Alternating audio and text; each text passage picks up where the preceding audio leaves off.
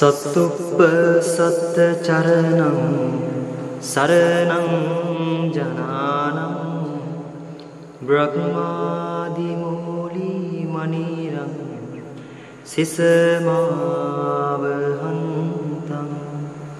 පංකේරුහාහෝ මුදුකෝ මලචාරුවන්නං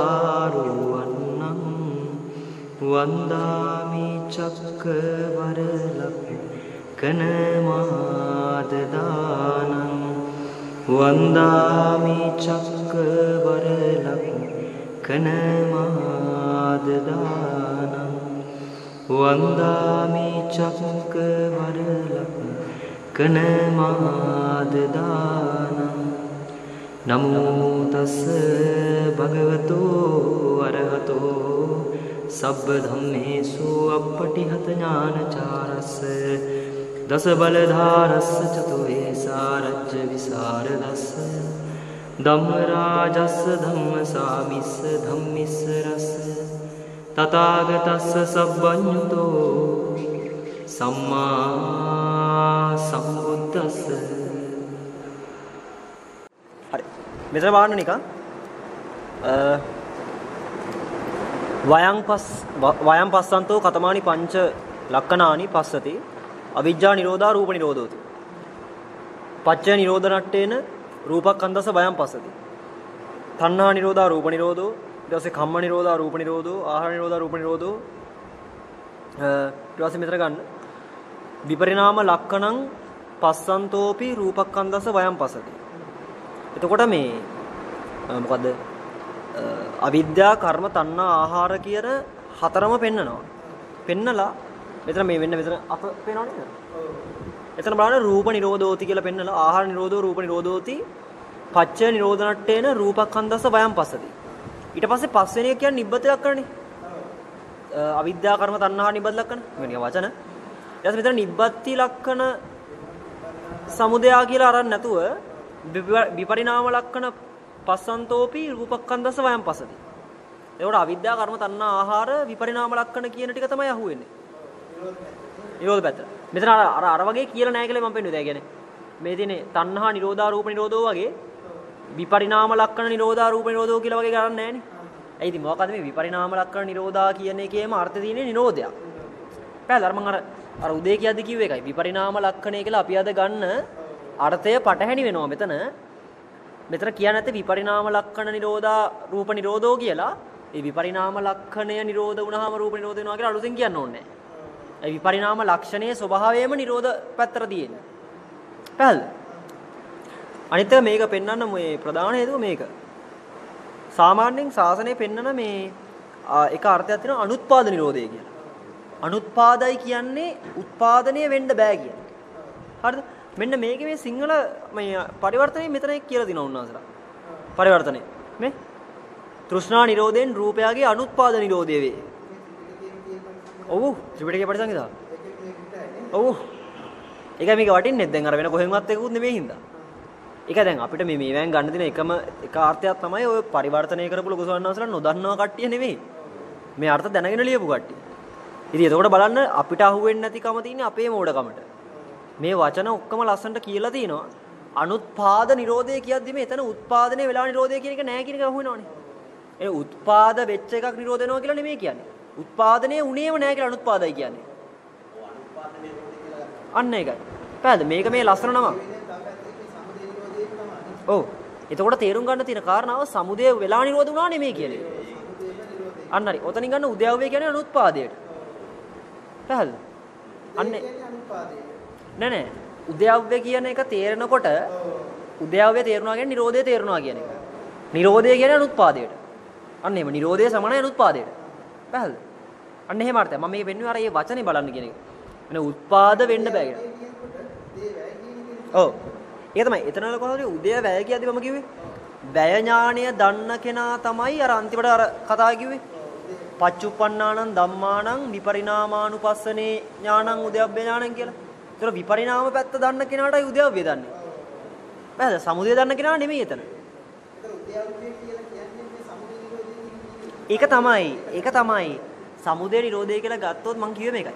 අපි සමුදේ විතරක් දැක්කා කියන එකෙන් සමුදේ කියලා ගන්නේ දුකට හේතුවනේ. දුකට හේතුව දකීමම තමයි අවිද්‍යාව දකීම කියන්නේ. එතනදී යා සමුදය දකින්නවා කියන එකෙන් අහුවෙන්නේ යාට නිරෝධයක්. චතුරාර්ය සත්‍ය එකට සංග්‍රහිතයිනේ. ඒ කියන්නේ අර එකක් දැම්මොත් තුනම දකින්නවා කියලා කියන්නේ. අන්න ඒ හින්දා. අපි අද බලන්නේ සමුදය එක වෙලාවක දැනගෙන ඊට පස්සේ නිරෝධ දැනගන්නනේ. එහෙම නෙමෙයි සමුදය හරියට අහුවෙච්ච කෙනාට නිරෝධෙමයි අහුවෙන්නේ. දුකමයි අහුවෙන්නේ. පටිපදාමයි අහුවෙන්නේ. පැහැදිලිද? අර මං කිව්වේ මෙයා ඉතින් අර වචන වටිනවා. ඒ නිරෝධය කියන්නේම අනුත්පාද ස්වභාවය. ඔව්. ඒතර උද්‍යාවය දැක්කා කියන අනුත්පාදය දැක්කා කියන්නේ. නැතු මේ උදා වුණා වැය වුණා ඒවනේ මෙහෙම. පැහැදිලිද?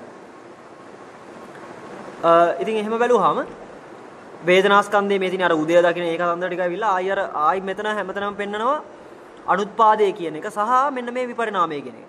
ඒ කියන්නේ නිබ්බත්ති ලක්ෂණේ අනිත් පැත්ත ඒ කියන්නේ උදය උදේ පැත්ත පෙන්නන්නේ අවිද්‍යා කර්ම තණ්හා ආහාර නිබ්බත්ති ලක්ෂණ කියලා ගත්තොත් ඕකේ මෙතන ගන්නකො මේදී මෙතන පේනවද නේද මේ තියෙන්නේ මේ තියෙන්නේ උදය උදයව්වේ දකින්නේ දසලස්රයෙන් දකි. මේ වේදනා ස්කන්ධයගේ උදය. ඒතර මොනවද තියෙන්නේ?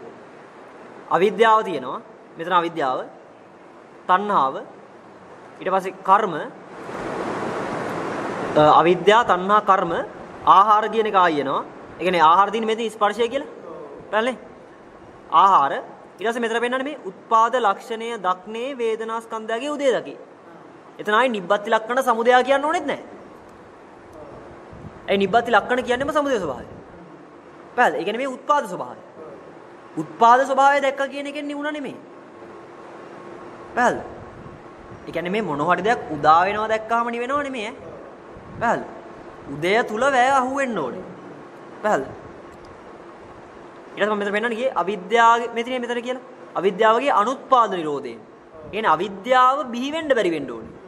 පැහැදිලි ඊට පස්සේ ආයි ගන්නේ තෘෂ්ණා නිරෝධයෙන් වේදනා නිරෝධය වෙයි. ඊට පස්සේ කර්ම නිරෝධයෙන් වේදනා නිරෝධය වෙයි. ඊට පස්සේ ස්පර්ශ නිරෝධයෙන් වේදනා නිරෝධය වෙයි. ප්‍රත්‍ය නිරුද්ධ භාවයෙන් වේදනා ස්කන්ධයගේ වය දකි විපරිණාම ලක්ෂණය දක්නේද වේදනාවගේ වය දකි. ඒ කියන්නේ අර අවිද්‍යා කර්ම තණ්හා ආහාර නිබ්බත්තිය කියනකොට වැය පැතරෙන්නේ විපරිණාමයක්. ඒතර තේරුම් ගන්න ඕනේ වැය කියන ස්වභාවයෙන් විපරිණාමය තේරෙන්න ඕනේ මිසක් විනාශ වුණා හෝ වෙනස් වුණා හෝ කියන එකකට නෙමෙයි. අන්න වය කියන්නේ මෙහෙම. ඒක තමයි මම අර උදේ කිව්වේ ඔන්න ඕකට. කය කයට එන කියද්දි අන්න ඒක. එතකොට තේරෙනවද මෙතන මේ වය කියලා කියලා තින්නේ මොන අර්ථයක් පෙන්වන්න වගේද කියන එක. මට තියෙන ආයි ගන්නකො. එතනත් කියන්නේ අනිච්චවද සංඛාරා වගේම සංඛාරට නේද? සංඛාර. ඉන්නේ සංඛාර ස්වභාවයේ වය ධර්මයෙන් යුක්තයි කියලා ඉන්නේ. ඒකත් එක්කමයි එන්නේ. අන්න ඒකයි. සංස්කරණයේ ස්වභාවයම වය ස්වභාවයක් මිසක් තියෙන දේ කියවෙනවම නෙමෙයි. ඒකේ පැවතින ස්වභාවයක් ඕ එතන එතන ඔය දැන් මම අහපු ඉඳ එක වටිනවා දැන් මම කිය මෙහෙම එකක් පෙන්නනවා. ඔතන කියන්නේ මෙන්න මෙහෙම එකන්නේ. බය ධම්මා සංඛාරා කියලානේ. මේකේ අපිට අර්ථය ඇවිල්ලා තියෙන්නේ මොකද්ද? සියලු සංස්කාරයන් වැය වෙනවා කියලානේ. නමුත් මෙතන බලන්න මේ පාළිය හරි ලස්සනයි කියන්නේ වය ධම්මා සංඛාරා කියන්නේ වය ධම්මා සමානයි සංඛාර කියලා කියන්නේ මේ. ඒක අර පාළි වල තියෙන හුරුව මාර වටින්නේ මෙතන. අයි එක් කියලා කිව්වොත් අයි එක් කියලා කිව්වොත් ඒ අර්ථයෙන්ම බහිනවද නැද්ද අයි එක් ඉන්නවා කියලා. පැහැදිලිද? අක් එක් කියලා කියද්දි කොකෙක් කියලා කියද්දි කොකා ඉන්නවා කියන සංඥාවම දිනවනේ. ආ ඒ වගේ බය ධම්මා සංඛාරා කියද්දි බය ධර්මතාවය සංඛාරය කියන අර්ථයට තියෙනවා උතන. පැහැදිලිද? මම ඒ පැහැදිලි කියන එකට උදාහරණයක් එන්නේ මේ කියන්නේ මේ මේ කියන්නේ වය ධර්මතාවයෙන් යුක්තයි සංකාරය නෙමෙයි. මේ ඒක මේ වෙන එකක්. අර අන්තිමට කියන්නේ ඕවන්නේ වගේ. සංඛාරයම වය ධම්මයි. සංඛාරයම වය ධම්මයි කියන්නේ මේ සංඛාරය සමානයි වය ධම්මයට. මම මේ සමානයි කරලා කිව්වේ මේ උදාහරණයට කියලා පෙන්න. හරිද? අර ඒ කියන්නේ හන්ද දානි වික්කවේ ආමන්ත්‍රයමෝ වය ධම්මා සංඛාරා අපමාදින සම්පාදිත කියන කැලණි ඔය බුදුමහාන සම්දිපට කියනවා කියන්නේ. එතන පරිවර්තන වල පවා තියෙන සියලු සංස්කාරයෝ නැසෙන සුළුයි කියලා. ඒකේ අර්ථය අපි ගන්නේ දෝෂෙට දැන්. එතන කියන්නේ සියලු සංස්කාරයෝම නැසෙනවා කියන එක. පැවතිලාම නෑ. කියන්නේ නැසෙන සුළු ස්වභාවයක් කියන්නේ. නමුත් අපි දැන් සිංහල භාෂාවේ ගණිද්දි ගන්න මේ සංස්කාර තියෙනේව නැසෙනවා කියලා එකක්. පැහැදිලිද? අන්න ඒකට තේරුම් ගත්තා නම් වටිනවා. හරිද? ඉතින් මම අර අර උදේ ඉඳන් කිව්වේ දැන් හවස මේක කියන්න ඕනුනේ. ඔය විපරිණාම ලක්ෂණානු පස්සනාව කියන එක විපරිණාම ලක්ෂණය දැක්කා කියන්නේ වෙනස් වීම හෝ ඡය වෙන ඒ අර අපි හිතන් ඉන්න එකක් ඡය වීම හෝ වෙනසීම හෝ කියන එක නන් නෙමෙයි. පැහැදිලිද? වෙනසීම තුල වෙනසීමක් වෙන්න බෑ කියලා තේරෙන්න ඕනේ එතන. පැහැදිලිද? හරි මම අර අරක පොඩ්ඩක් කල්පනා කරේ අර ඵලය ගැන පොඩ්ඩක් තව ටිකක් විස්තරයක් කරා නම් කියන එක. අර බුදුයි කතා කරපු එක. මේක ඇත්තරම මේ මේක එක්තරා ආකාරයක වෙන්නේ සැලැස්මක් තේරුම් ගන්න අපේ අවිද්‍යාව කොහොමද එන්නේ කියන එක. හරිද? මම මේ නිසා දැන් අර අපි දැන් දන්න අපි කතා කරපු ටික පැත්තකට තියලා මෙතන අපි අවංක වෙලා අපි මේක කතාවට යන් ඊට පස්සේ අර ටික සම්බන්ධ කරලා ගත්තා එහෙම. හරිද? මෙහෙම ගත්තා. මම හිතන්නේ පේන නැති නේද? හරිද? ඔහොම ගත්තොත් පුටුවක් නෙවෙයි තියෙන්නේ. හරිද? ඔන්න පුටුව කියන එක හුණා. හරිද? දැන් පුටුව කියන එක මෙතන අපි මුලින්ම තෝරගන්න ඕනේ මේක. ආයිමත් මේ මුලින්ම කියන්නේ. පුටුව කියන එක තියෙනවද නැද්ද කියන එක. මොකද ඔය දෙකෙන් එකක් නම් අපිට ආයි කතා කරන්න දෙන්නේ නැහැ මෙතනින් එහාට. මොකද පුටුව තියෙනවා නම් එහෙමයි නැත්නම් ඒත් එහෙමයි කියලා ඇදහැයි. මොකද තිබුණොත් ඒත් ලෝකෙට ඇදහැයි නොතිබුණොත් ඒත් ලෝකෙට ඇදහැයි. හරිද? ඒතකොට පළවෙනි ප්‍රශ්නේ මෙතන එන්නෙම මේක ඇතද නැතද කියලා ගන්න එක. මේක හරිනම් ඒත් ගැටලුවක් නෑ මේක තියෙනවා නම් ඒත් ගැටලුවක් නෑ. මේ දෙකම තියෙනවා නම් ඒත් ගැටලුවක් නෑ. මොකද මිත්‍යා දෘෂ්ටිම 64ක් තිබිලා තියෙනවා. අපි මිත්‍යා අයින් කරොත් දෘෂ්ටි 64ක්ම තියෙනවා. හරිද? දැන් අපි මුලින්ම ගත්තොත් පුටුව තියෙනවද කියලා කිව්වොත්. එන උත්තරේ මොකක්ද? දැන් මං කියනවා උත්පාදන නිරෝධ ඒවා නැතුව අපි නිකන් මේ දෙක අතරේ දිව්වොත් පුටුවක් තියෙනවා නම් හැබැයි මට නම් දැන් පේන පුටුවකුත් තියෙනවා මෙතන. එතකොට පුටුවක් ඇත නේද? මං අහන්නේ බලන්න කියන එක පුටුවක් තියෙනවද කියලා. ඈ? ඔය තමයි. ඇත කියන්නේ නැත කියන අන්න එකයි. දැන් ආ දැන් ඔය කතා කරපු හින්දා කොහොම ටක් ගාලා එන්නේ. නමුත් දැන් මම සාමාන්‍යයෙන් බැලුවා නම් පුටුවක් තියෙනවද කියලා ගනිද්දී අපි අපි ඇත්තරම අපි අපේ තියෙන ස්පර්ශ ආයතන වලට සංවේදී වෙලා බැලුවොත් මේ පුටුව නේද කියලා අල්ලනකොට පුටුවම අහු වෙනවා නම් පුටුවක් ඇත. හරිද? හැබැයි අහු වෙන්නේ පුටුව නෙමෙයි. මගේ ප්‍රශ්නේ උනේ නෑ ස්පර්ශයෙන් නෙමෙයි. මගේ නේචර් ගැඹුරට නෙමෙයි.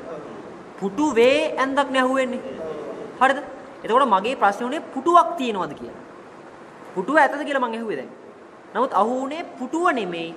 අහු වුණා එකක් ඒක පුටුවේ කෑල්ලක්. බැලුවද? එතකොට ප්‍රශ්නයක් එනවා නේද පුටුව තියෙනවා කියන එක දෝසයි කියලා. පුටුව තියෙනවා නම් අල්ලන්න පුළුවන් හරි වෙන්න ඕනේ. නැත්තම් බලන්න හරි පුළුවන් වෙන්න ඕනේ. බැලුවත් පේන්නේ පාට මිසක් පුටුවේ පාට මිසක් පුටුව නෙමෙයි. පැහැදිලිද? මම කියන්නේ දැන් අපි අපි මුලින් තෝරගන්න වෙනවා පුටුවක් ඇත නෙමෙයි නම් පුටුවක් නැද්ද එහෙනම් කියලා හරි. එනේ පුටුවක් තියෙනවද කියලා මුලින්ම තෝරගන්න එපයි. මේ මං කියන්නේ මේ යථාර්ථ මේ ලෞකික ලෝකේ පුටුවක් තියෙනවද කියන එක. මං කියන්නේ එහෙම හරි. එතකොට නිකන් බලන්න අපි දැන් වාඩ්ලා ඉන්නේ පුටුව කියලා අපි හොඳට දන්නවනේ. එතකොට නිකන් බලන්න අල්ලලා හරි අතගාලා හරි සුවඳ සුවඳින් හරි මොනවා හරි විදිහකට පුටුව කියන එක අල්ලගන්න පුළුවන්.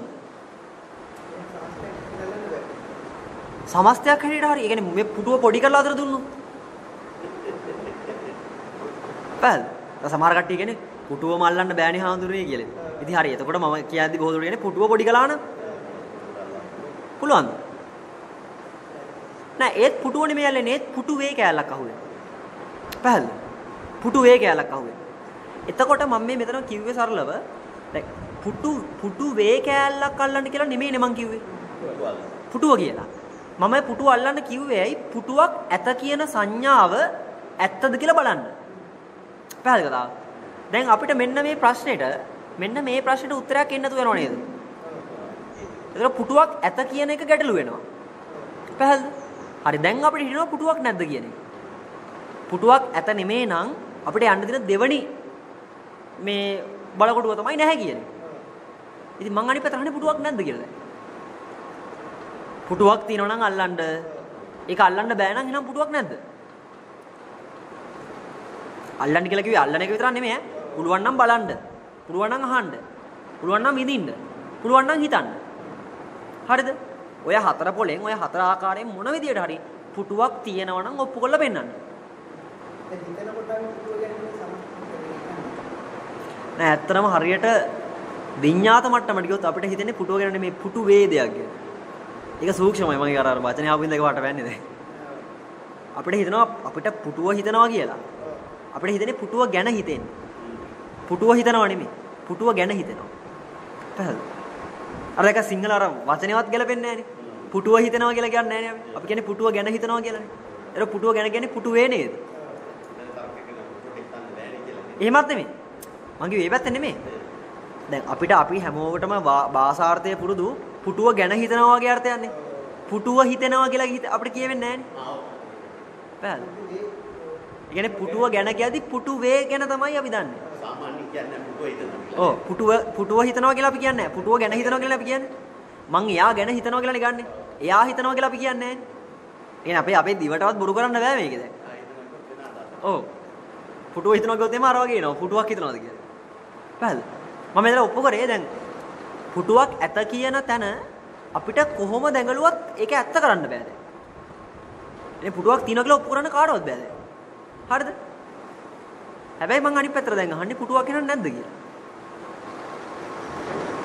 මම අර විඤ්ඤාත මට්ටම ගත්ත එක දැන් පැටලෙන්න පුළුවන් මම ඒක නොගෙන හිටියනම් ඒක වාට වචනේ ආපු හින්දා මං කිව්වේ. පුටුවක් නැද්ද කියලා කිව්වොත්.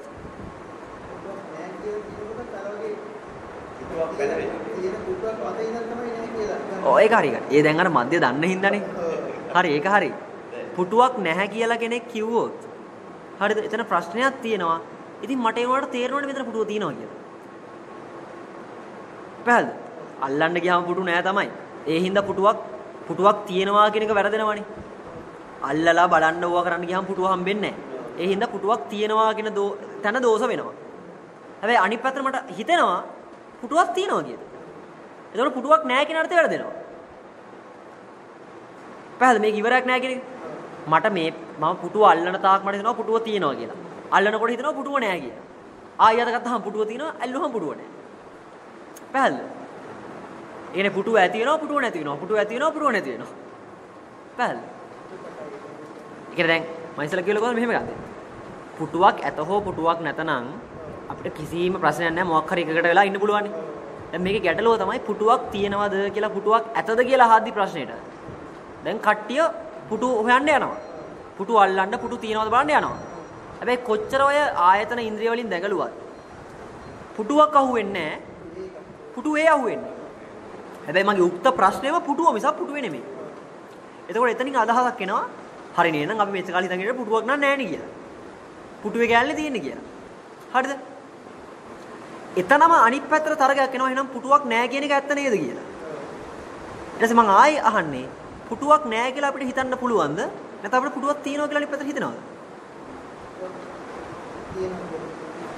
පැහැදිලි පුටුවක් නෑ කියලා අපි ගත්තට ඔහොම. ඔය කෑලි ගලවල ගත්තට අනිත් පැත්තට අක් ගාලා මේව දකින්නකොට ඔක්කොම ටික තේරෙනවා පුටුව තියෙනවා කියලා. පැහැදිලි? මං කිව්වේ මේ අන්ත දෙකේ කොච්චර දිව්වත් නතර වෙන්නේ නැහැ තියෙනකොට නෑ කියන එක බොරු වෙනවා නෑ කියනකොට තියෙනවා කියන එක බොරු වෙනවා. කවදාවත් දැන් මේකේ මාරු වෙවි යවි යන යන විතරයි. ඔව් ඒ කියන්නේ නිෂේධනය වුණා කියලා අර එකක් සම්පූර්ණයෙන් අයින් වෙන්නේ නැහැ. මේ පුටු වේ කියලා ගන්නකොටම නෑ කියනකොටම ආයෙ පුටුව කියන එක පැනවිලා ඔව් පුටුව කියන එක ආයෙ මට හිතෙනවා තියෙනවා කියන එක. පැහැදිලිද? අන්න ඒකයි. දැන් මම මේක කියන්න ගියේ ඇත නැත කියන එක දෝසයි. හරිද? දැන් මේ හේතුඵල ධහම කියන එක ලෝකේ පැත්තට ගත්ත හැකි. පැහැදිලිද? මම කිව්වේ ඒකයි මේ ලෝකේ ඇත්තට හිතන කෙනෙක්ටවත් ඇත නැත කියන එක බොරු කියලා තේරෙනවා. ඇයි තියෙනවා කිව්වත් නෑ කිව්වත් ඉවරයක් නැති හින්දා. ඇත්තරම බලන්න පුටුව කියන එක තියෙන එකක්ද නැති එකක්ද? නැත්තම් පුටුව හේතු ප්‍රත්‍යයෙන් විද්‍යාමාන වෙන එකක්ද කියන එක. පැහැදිලිද? මට ගේන්න ඕනේ එතනට. දැන් මට ගබාට කියන්න පුළුවන් හේතු නිසා මේක උදා වෙනවා කියන එක. නමුත් දැන් ඇත නැත කියන එක එහෙනම් කොහොමද වෙන්නේ කියන එක අයිනවනේ. ඇත නැත එක දෝෂ වෙන්නේ මේ ලෝකයේ තියෙන මොන හරි ද්‍රව්‍ය පවා හේතුඵල දහමෙන් පෙන්නත හැකි. දැනට හේතුඵල දහම කියලා මම කිව්වට ඒක දරන්න එපා. ඒක වැරදි. හරිද? එතන ගන්න බෑ. ඒකට වෙනම වචනයක් තියෙනවා. අපි පටලවන් ඉන්නේ හේතුඵල දහම කියලා ඕකට. හරිද? හරියටම හරියටම සාධාරණයි නේද? මම කියන්නේ මේ ලෞකික ජීවිතේ ජීවත් වෙන්න උනත්. පුටුව තියෙනව නෑ නෙමෙයි. පුටුව හේතු ප්‍රත්‍යයෙන් උදා වෙනවා කියලා ගත්තොත්. පුටුව හේතු ප්‍රත්‍යයෙන් විද්‍යාමාන වෙනවා කියලා ගත්තොත්. පැහැදිලි නේද? අපිට එතකොට මෙන්න මේ අන්ත දෙක ලෝක සම්මතයේ පවා වැරදි කියලා එනව නේද? සාමාන්‍යයෙන් ගියාට. ඉතින් මම දැන් මුරින්ම නෙමෙයි. යටින්ම නෙමෙයි. සාමාන්‍ය මනසකට තේරෙන්නේ ඇත නැත කියන ගන්න එක දෝසයි කියලා. ඒක අපිට මේක ගත්ත හැකි හේතු ප්‍රත්‍යයෙන් විද්‍යාමාන වෙනවා කියන එක. විද්‍යාමානයි කියන එක. ඒක ගත්ත හැකි නේද? එතකොට මේ ඕන තැනකට ඒක සාධාරණයි නේද? කියන හේතු ප්‍රත්‍යයෙන් උදා වෙනවා කියන එක. එතනින්ම අපිට ආයෙ එනවා නේද හේතු ප්‍රත්‍ය නැති වෙනකොට ඒ විද්‍යාමාන වීම නැති වෙන්න ඕනේ කියන එක. එනේ විද්‍යාමාන නොවෙනවා කියන එක. ඒ කියන්නේ මොකද හේතු තියෙන තාක් පුටුව උදා වෙනවා හේතු නැතිකොට පුටුව වැය වෙනවා. පැහැදිලිද? ඒක ඕන තැනකට සාධාරණයි නේද? පැහැදිලි. මම කියන්නේ ඕක හරි තේරුම් ගත්තොත් ඔය මම කිව්වේ නිවන ගැන නෙමෙයි. මේ ලෝක සම්මතේ හිතට ප්‍රත්‍යක්ෂ කරන්න පුළුවන් තැනක් ඔය න්‍යායය. يعني මේ ලෝකේ දේවල් තියෙනව නෙමෙයි. ඒක නෑත් නෙමෙයි. හේතු ප්‍රත්‍යන උදා වෙනවා. හේතු නැතුකොට බය වෙනවා. හරිද? හරි. එහෙනම් දැන් අපිට අදහසක් ආවනේ මේ ඇත නැත කියන එක දෝසයි. කොහොමද ලෝකේ තියෙන්නේ හේතුඵල දහමක් වගේ කතාවක් කියලා. ඒක පැහැදිලි නේද? දැන් මෙන්න මේක ගමු. පුටුව කියන්නේ ඵලයක්නේ. මෙන්න මේක තමයි වටිනේ. පුටුව තමයි ඵලය. මම අහන්නේ පුටුව උදා වෙන්න, පුටුව විද්‍යාමාන වෙන්න හේතු කෝටි ප්‍රකෝටි ගණක් තියෙනවනේ. නිකන් සාමාන්‍යයෙන් හේතු දෙක තුනක් කියන්න බලන්න. පුටුව උදා වෙන්න. පුටුව විද්‍යාමාන වෙන්න. පුටුව හැදෙන්න ඕනේ මොනවද? ඔව්. අන්න හරි. අපි නිකමට ගත්තොත් ලී කියන ඒවා. ඇන කියන ඒවා. තව මුදල්. තව මොන හරි ශ්‍රමය. ඔය වගේ අපිට හිතාන්න බැරි අනන්ත ගාණක් තියෙනව නේද? පැහැදිලි? ඔන්න මේක තේරුම් ගන්න මේ මේ ඵලයේ තියෙන දෝෂේ පෙන්වන්න පුළුවන් තරම්. පුටුව කියන එක බිහි වෙන්න, පුටුව කියන එක උදා වෙන්න මේ සම්මත භෞතික විදිහට ලෞකිකව මේ වගේ හේතු වෙන ගොඩක් තියෙනවා. කියන අනන්ත පරිමාණ හේතු ගොඩක්. එතකොට අපි මෙතන ගත්තේ ලී, ඇන, සල්ලි ඔය වගේ වනේ. අපි මේ ලී කියන එක විතරක් අපි දැන් තල්ලු කරන් යන්කෝ. හරිද? මෙන්න මේ කැලේ විතරක්. එතකොට බලන්න ලීය කියන හේතුව ප්‍රත්‍ය වුණොත් පුටුව උදා වෙනවා. ලී කියන එක ප්‍රත්‍ය නොවුනොත් පුටුව උදා වෙන්නේ නැහැ. ඔහොම හිතන කෙනෙකුට වුණත් හිත සමනය කරන්න පුළුවන් නේද? පුටුවක් ගිනි ගන්නවා කියලා කියද්දි එයාට තියෙන පුටුවක් ගිනි ගන්නවා කියන අර්ථය එන්නේ නැහැ. එයා දන්නවනම් පුටුව තියෙන එකක් නෙමෙයි. පුටුව මේ හේතු නිසා හටගෙන දැන් හේතු නැතුනට නැති වෙන එකක් කියන එක. මම කිව්වේ මොකද ලෞකිකව සමනය කරන්න පුළුවන් ඔකින් ඈ. දැන් බලන්න මේක. අපි ගත්තා නේද ලී කියන්නේ හේතුවක් පුටුව කියන ඵලය බිහි කරන්න කියලා. ඒක හරි නේද? අන්න හරි. එතකොට අපිට දැන් තේරෙනවා මෙන්න මේ සීමාවෙන් පැන්නාම ඇතුළට පුටුව කියන එක නම් තියනවා හෝ නෑ නෙමෙයි. හේතු ප්‍රත්‍යයෙන් විද්‍යාමාන වීමක් තියෙන්නේ කියන එක. ලී ඇති තාක් පුටුව ඇත ලී නැති තාක් පුටුව නැත. එහෙම ගත්ත හැකිනේ. හරිද? දැන් අපිට මේ මේ කෑල්ල සම්බන්ධ එච්චර ගැටලුවක් නෑ. දැන් අපි මේ පැත්තේ තියෙන අපේ දෝෂය අයින් කරා කියමුකෝ. ඇයි දැන් විද්‍යාමාන වීම අපිට තේරුණානේ. දැන් එන්න හේතු වලට. දැන් අපි දැන් මේ හේතු ගොඩක් තියෙනවා. නමුත් අපි ලීය කියන හේතු විතරක් තනි කරොත් එතකොට මට දැන් ප්‍රශ්නයක් එනවා මේක. ලී ලීය කියන හේතුව ප්‍රත්‍ය වුණාම පුටුව උදා වෙනවා ලීය කියන හේතුව නැති වෙනකොට පුටුව වැය වෙනවා. හරිද? මම මේ කියන එකේ දෝෂයක් තියෙනවා. හරිද? මම මේ දැන්ට මේ උදාහරණ කියන්නේ. එතකොට ලීය කියන හේතු ප්‍රත්‍යෙන්නේ පුටුව උදා වෙනවා කියලා අපි ගත්තේ. විද්‍යාමානයි කියලා ගත්තේ. මම අහන්නේ ලීය කියන එක හේතුවක් නම් පුටුව උදා වෙන්න ඵලය විදිහට පුටුව ගැන දැන් අපිට දෝෂයක් නැහැ. මොකද හේතු ප්‍රත්‍යයෙන් උදා වෙන ඵලය කියන එකෙන් අයින් කරා. අපිට එතනින් අර්ථයක් වෙනව නේද? පුටුව කවදාවත් විනාශ කරන්න බෑ. පුටුව හදන්න හේතු වෙච්ච ලී විනාශ වුණොත් තමයි පුටුව විනාශ වෙන්නේ කියන එක. හරි නේද? ඒතර අපිට පුටුවට රත් තියන්න බෑ දැන්. අපි ආවොත් ලී වලට.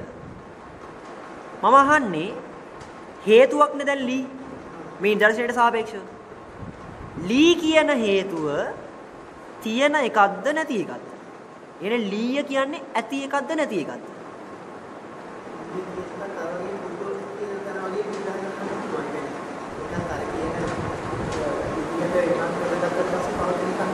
ඔව්. එහෙනම් මම මෙතන ඇහුවේ දැන් මේකයි. අපි මෙච්චර වෙලා ගත්තේ ලීය කියන හේතුවෙන් ඵලය කියන පුටුවාව කියලා නේද? ආ මම දැන් කොටු කරානේ හේතුව. මං අහන්නේ දැන් ලීය කියන එක ඇතද නැතද කියලා. එතකොට ආයි එනවා නේද ලීය ඇත කිව්වොත්. අල්ලන්න ගිහම අල්ලන්න බෑ. අල්ලන්න නැතුව හිටියාම ලීය කියලා එකක් තියෙන එක නවත්තන්නත් බෑ. එතකොට ආයි තේරෙනවද මේ ලීය කියන්නේ හේතු ටික ප්‍රත්‍යයෙන් උදා වෙලා හේතු ටික නැතිනකොට බය වෙනයක් කියලා. හරිද මං කියන්නේ? ආ එහෙනම් දැන් මේ හේතුවක් කියලා අපි ගත්ත ලීයම යන්නේ. එහෙනම් මේ ලීයත් හේතු ප්‍රත්‍යයෙන් උදා වෙන විද්‍යාමාන වෙන එකක් නම් નિરાයාස අර්ථයක් එනවද නැද්ද ලීය උදා වෙන්නත් හේතු තියෙන්න ඕනේ කියලා. ලීය උදා වෙන්න තියෙන හේතු මොනවද? ඔව් අපි ගත්තොත් අපි නිකමට ගමුකෝ මේවා මේ මොන හරි කාබන් වගේ මොන හරි මේ පදාර්ථයක් මොකද නැත්නම් ගහගත්තාම ආයෙ එන්නේ බෑ පිළිවෙසට හරිද කාබන් වගේ පදාර්ථයක් ගත්තොත් මේ පරමාණුනේ. මම ඊටාම කෙටි කරලා ගත්තේ. මේ මේකේ තියෙන මේ ජංජාලේ පෙන්වන්න මේ හේතු වල කොහොම යනවද කියන එක අපි සාමාන්‍යයෙන් ගත්තොත්. හරිද?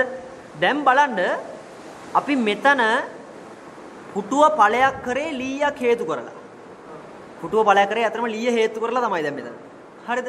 අපි දැන් ලීයට කොටු කරලා බැලුවාම ලීය කියන හේතුව දැන් තියෙන හෝ නැති වෙන එකකුත් නෙමෙයි. ඒකත් හේතු ප්‍රත්‍යයෙන් උදා වෙන එකක් කියලා අපිට එනවා දැන්.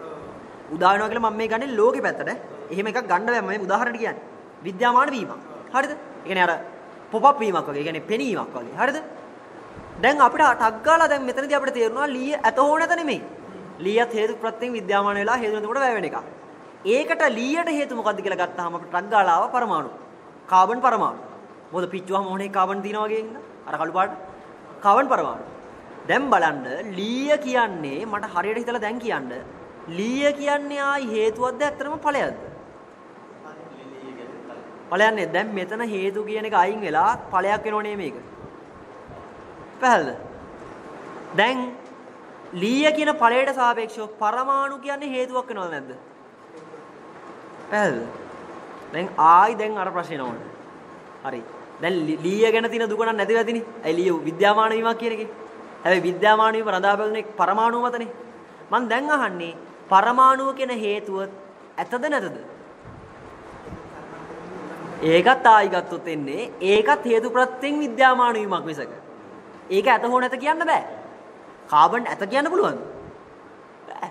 නැත කියන්නත් බෑ. ඒකත් එන්නේ හේතු ප්‍රත්‍යයෙන් විද්‍යාමාන වීමක්. දැන් ඒ ශනික ආයි අපිට අදහසක් එනවා නේද කාබන් එහෙනම් ඇති වෙන්න මොනවාරි හේතුවක් තියෙන්න ඕනේ කියලා. කාබන් නැති වෙන්න තියෙන හේතු මොනවද? දැන් අංගලේ සයන්ස් පාඩමකට එනවා. කාබන් නැති වෙන්න හේතුයි ඉලෙක්ට්‍රෝන, ප්‍රෝටෝන, නියුට්‍රෝන කියන ඒවා. හරිද? මේ හේතු තුන කෙලින්ම කියසකි පරමාණු නිසා. තව මේවා ඊට වඩා ඒවාක් තියෙනවා. අපි නිකම්ම ගත්තොත් ඉලෙක්ට්‍රෝන වගේ එක හේතුවක්. දැන් දැන් එකපාරට අපිට එනවා නේද පරමාණුව කියලා මෙච්චලා හේතුවක් කියවකෝ හිටපු එක. පරමාණුව කියන එක බිහි වෙන්නේ ඉලෙක්ට්‍රෝන කියන හේතුව කියලා ගන්න සැනින්. පරමාණුව කියන්නේත් ඵලයක් වෙනව නේද? පැහැදිලිද? ඒක ඵලයක් වෙනකොට ඉලෙක්ට්‍රෝන කියන්නේ හේතුවක් වෙනව නේද? පැහැදිලිද? දැන් බලන්න කලින් හේතු කියපු එක දැන් ආයි ඵල වෙලා. හරිද? දැන් හේතුවක් විතර ඉලෙක්ට්‍රෝනේ හවුලා. මං අහන්නේ ආයි ඉලෙක්ට්‍රෝනේ ඇතද නැතද? ආයිත් අර එහෙම ඉලෙක්ට්‍රෝනේ බිහි වෙන්නත් හේතු බලපානවා කියලා හිතනවා. ඉලෙක්ට්‍රෝන බිහි වෙන්න තියෙන හේතු මොනවද? මේවා තව තව බෙදුවොත් වෙනවා ක්වාක් කියලා જાතියක් වෙනවා. අපි නිකන් ක්වාක් කියලා අංශුව ගත්තොත් මේක නිකන් හිතන්න මොන හරි අංශුවක් කියලා. අපිට මොකක් පිටස කඩා නේද? එතකොට ආයි එනවා ක්වාක් ඇතිතාක් ඉලෙක්ට්‍රෝන නැත ක්වාක් නැතාක් ඉලෙක්ට්‍රෝන නැත. මම මේක මම ගියේ මෙතන පෙන්නන්න අපි ගත්ත ආයි හේතුව ඵලයක් වෙනවා. පැහැදිලිද? පැහැදිලි. දැන් ආයි එතකොට ක්වාක් කියන එක හේතුවක් වෙනවා.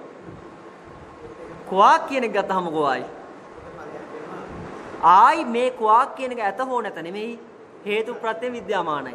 ක්වාක් කියනට හේතුව මොකක්ද? අපි නිකමට ගමුකෝ ශක්තිය කියලා. ශක්තිය ඇතිතා ක්වාක් ඇත ශක්තිය නැත්තා ක්වාක් නැත. ඒතර ශක්තියනේ මෙතන දැන් හේතුවක් උනේ. ඒ මොහොතේම ක්වාක් කියන එක ඵලයක් වෙනව නේද? ඒතර ශක්තිය බිහි වෙන්න හේතුව මොකද්ද? අපි හිතමු තරංග කියලා. වේව්ස් කියන ඒවා. ඒතර තරංගයක් ඇතිතා ශක්තිය ඇත තරංග නැත්තා ශක්තිය නැත. ඒතර තරංග හේතු වෙනකොට ශක්තිය කියන එක ඵලය වෙනවා. එතකොට මට කියන්න මේ මෙන්න මේ කියන එකනේ තරංගය කියන එකට. එතන හේතුව ගියොත් දැන් මේක අනන්ත අපරිමාණයට විහිදෙනවා. අපිට මෙහෙම අන්තිමට ගිහිල්ලා ගත්ත හැකි නේද? අපි දන්න මට්ටමින්. පටවියාපෝ තේජෝ වායෝ කතාව. පටවියාපෝ තේජෝ වායෝ කියන ඒ හතර තමයි මේ ඔක්කොටම හේතුව කියලා. පැහැදිලිද? දැන් බලන්න. පටවි ආපෝ තේජෝ වායෝ කියන හේතු නිසා නම් අපි ගත්තොත් තරංගය කියන එක බිහි උනේ. එතකොට තරංගය ඵලයක් වෙනවා මේ ටික හේතු වෙනවා. දැන් මම අහන්නේ මෙතනදී පටවි කියන එක තියනවද නැද්ද?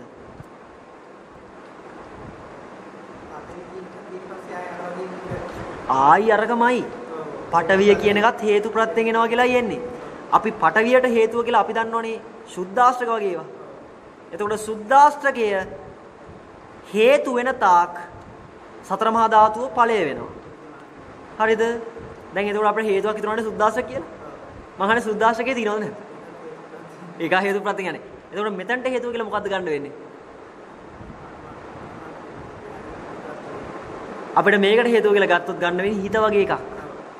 මීට මේ ඇතුළ ගන්න පුළුවන් ඕන තරම් හිත කියලා ගත්තොත් එතකොට හිත හේතු වෙනවා නම් ඵලයේ විදිහට සුද්දාෂ්ටක බිහි වෙන්න එතකොට හිත කියන හේතුව දැන් ඇතද නැතද කියලා ආයෙ ප්‍රශ්නයක් එනවා. එතන මොකද්ද කියන්න වෙන්නේ? ඒත් විද්‍යාමාන කියලා. දැන් උතන්ට ගියොත් අපිට ගන්න පුළුවන් ඕන නම් සංකාර කියලා. සංකාර ඇතද නැතද කියලා කිව්වහම ආයි තියෙන්නේ හේතු ප්‍රත්‍යයෙන් ඇති වෙන එකක් කියලා. එතනට ගත්ත හැකි ආයි අවිද්‍යාව කියලා. ඔව්. මෙතන මට ඔප්පු කරගන්න ඕනේ මේකයි. බලන්න මෙතන වෙන පාඩකින් එක පෙන්නන්න. මෙන්න මෙහෙම ගන්න. අපි මුලින්ම පුටුව කියන එක ඵලයක් කරගත්තේ ලී කියන එක හේතු කළානේ. හැබැයි මේක ඵලයක් වෙනකොට මේ ලී හේතුයි කියලා කිව්වට හරියට ආයි කඩලා බැලුවාම කාබන් වලට සාපේක්ෂව ලී කියන්නේ හේතුවක්. දැන් බලන්න මෙතනත් ඵලයක් මෙතනත් ඵලයක් වුණා නේද? ඊට පස්සේ ලී ඵලය උනේ කාබන් පරමාණු හේතු නිසා. හැබැයි ඉලෙක්ට්‍රෝන වලට සාපේක්ෂව පරමාණුවත් ඵලයක්. ඊට පස්සේ ආයි මේක ඵලයක් වෙලා ආයි සමානව නේද? ඊට පස්සේ බලන්න ආයි ඉලෙක්ට්‍රෝන ඵලයක් වුණා. ක්වාක් කියන හේතුව මත. ඊට පස්සේ මේ ඵලය ආය ආවා. දැන් බලන්න මෙතන ක්වාක් කියන එක ඵලයක් වුණා ශක්තිය කියන හේතුව මත. ඊට පස්සේ ආයි මේක ඵලයක් වුණා. හරිද? ආයි ශක්තිය කියන එක ඵලයක් වෙනවා. මොකද?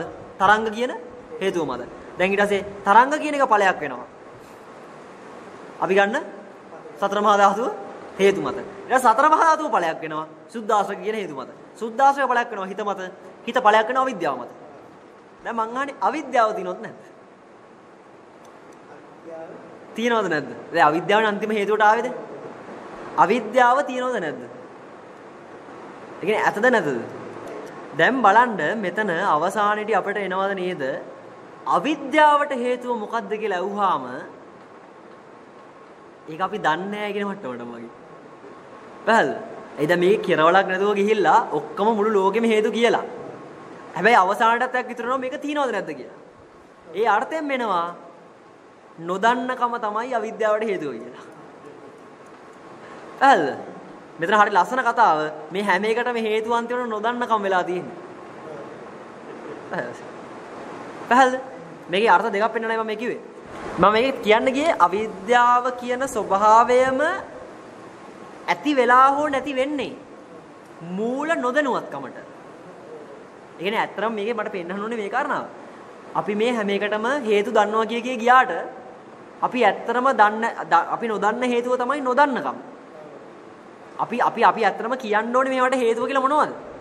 දන්නේ නැහැ කියන හේතුව. පැහැදිලිද? මොකද නැත්තම් දැන් බලන්නකෝ පුටුව කියන එකට හේතුව කියලා ලීය කිව්වා. ලීය කියන එකේ හේතුවට වෙන එකක් කියනවා. ඔහොම ගිහිල්ලා ගිහිල්ලා අන්තිමට තනක් එනවා හිර වෙන. මීට එහා නම් හේතුව තේරෙන්නේ අන්න හරි. ඒ එත හඳුන්වන්න ක්‍රමයක් නැහැ නෙමේ. අපි අපි දන්න හේතු ඔක්කොම ඉවර වෙලා. අන්තිමට ඉතින් අපි දැන් ගෙනවා විද්‍යාවලු එතනට. විද්‍යාව කියන එක කවදාකවත් පහදලා දෙන්නේ නැහැ. විද්‍යාව එක පහදලා. අන්න ඒකයි. ඔන්න ඔය නොදන්න කමට බෙහෙත දෙන්නයි බුදු පියාණන් වහන්සේලා ඉන්නේ. පැහැදිලිද? පහල වෙන්න ඕනේ දෙන්න. අන්න හරි. මෙතන බලන්න මම මේකේ උත්සාහ කළේ අපි නිකන් රූප සරහන ගියොත් ඔන්න මේ පුටුව ඊට පස්සේ අපි ගත්තේ ලීය ඊට පස්සේ අපි ගත්තේ කාබන් පරමාණු ඊට පස්සේ ගත්තේ ඉලෙක්ට්‍රෝන ඊට පස්සේ ගත්තේ ක්වාක් කියන එක ඊට පස්සේ ගත්තේ ශක්තිය මම පිළිවෙලට මේ කියන්නේ ඊට පස්සේ ගත්තේ තරංග ඊට පස්සේ ගත්තේ සතර මහා ධාතුව ඊළඟට ගත්තා සුද්දාෂ්ටකය ඊළඟට ගත්තා හිත ඊළඟට ගත්තා ওই සංකාර මොනවාරි අන්තිමට ගත්තා අවිද්‍යාව ඊට පස්සේ අන්තිමටම ආවේ නොදුනත්කම බලන්නකෝ මේක මේ පුටුව කියන එකටත් අවසානයේදී අපිට උත්තරය ආවේ ඵලයක් කියලා. ලී කියන්නේත් ඵලයක් වුණා. කාබනුත් ඵලයක්. ඵලයක් ඵලයක් ඵලයක් ඵලයක් ඵලයක් ඵලයක් ඵලයක් ඵලයක් ඵලයක්. අන්තිමට මේ ලොකු ඇල්වටාරමක් ගිහිල්ලා මේ ලෝකේ අපිට පේන ඇහෙන දැනෙන හිතන මොනෝම හරි දෙයක් තියෙනවා නම් ඒක අවසානයේදී ඵලයක් කියන තැනටම කොටු වෙනවද නැද්ද එහෙම ගියාම පැහැදිලිද? ඵලයක් කියන එකටම කොටු වෙනවා. මේ ඵලයට හේතුව මොකද්ද කියලා අහුවාම අපි පුටුවට හේතුව ලී කිව්වට මේක ඉවරක් නැතුව ගියාට පස්සේ අවසාන ඵලයට හේතුව කියලා එන්නේ දන්නේ කියන එක. අපි දන්නේ නැතිකම හේතු වෙලයි මේක ඇවිල්ලා තියෙන්නේ කියන්නේ. පැහැදිලිද? අවසාන හේතුව තමයි මේ ඵලවල අපි දන්නේ කියන එක. පැහැදිලිද? එතකොට අපිට කෙලින්ම උත්තරයක් එනවා නේද? ඵලය කියන එකට හේතුව වෙන්නේ නොදන්නකම කියලා. මෙන්න මේක තමයි දැනගන්න ඕන කියන මට්ටමට එන්නේ. දැනුවත් වෙන්න ඕනේ මෙන්න මේ නොදන්නකම හරියට. පැහැදිලිද? මේ මේ නිතර නොදැනුවත්කම කියන්නේ ඇත්තරම අවිද්‍යාව. පැහැදිලිද? ඒ කියන්නේ පුටුවත් අපි හරියට දන්නේ නැහැ. මේ මයික කිව්වේ මේ සැලසුම අඳින්නෙම අපිට එතකොට තේරුම් ගන්න පුළුවන් වෙනවා අපිට මේ හිතෙන දැනෙන පෙනෙන ඇහෙන සියලුම දේවල් කවදාවත් හේතුවක් වෙන්න බෑ දැන්. දැනගත්තට පස්සේ කොච්චර දැනගෙන ඉඳලා ඒක ප්‍රශ්නයක් වෙන්නේ නැහැ. ඒක ප්‍රශ්නයක් වෙන්නේත් නැහැ. නෑ ඒගොල්ලන්ට ඇත්තනම සමහර වෙලාවට ලේසිත් වැඩි. ඒක ඒක දෙපැත්ත ඒකයි මම කිව්වේ නානත්ත කාය නානත් සංඥානේ. ඒ අර්ථයත්. අන්න ඒකයි. දැන් මෙතන මේ මේ මේ මොනවද මැටීරියල් සයන්ස් වගේ දන්න කෙනෙක් හිටියනම් මීට වඩා අතුරු කියනවා. හැබැයි යාට කෙරවල පෙන්නුවාම අර ඔක්කොම ටික තරස් ගලගල වෙනවා.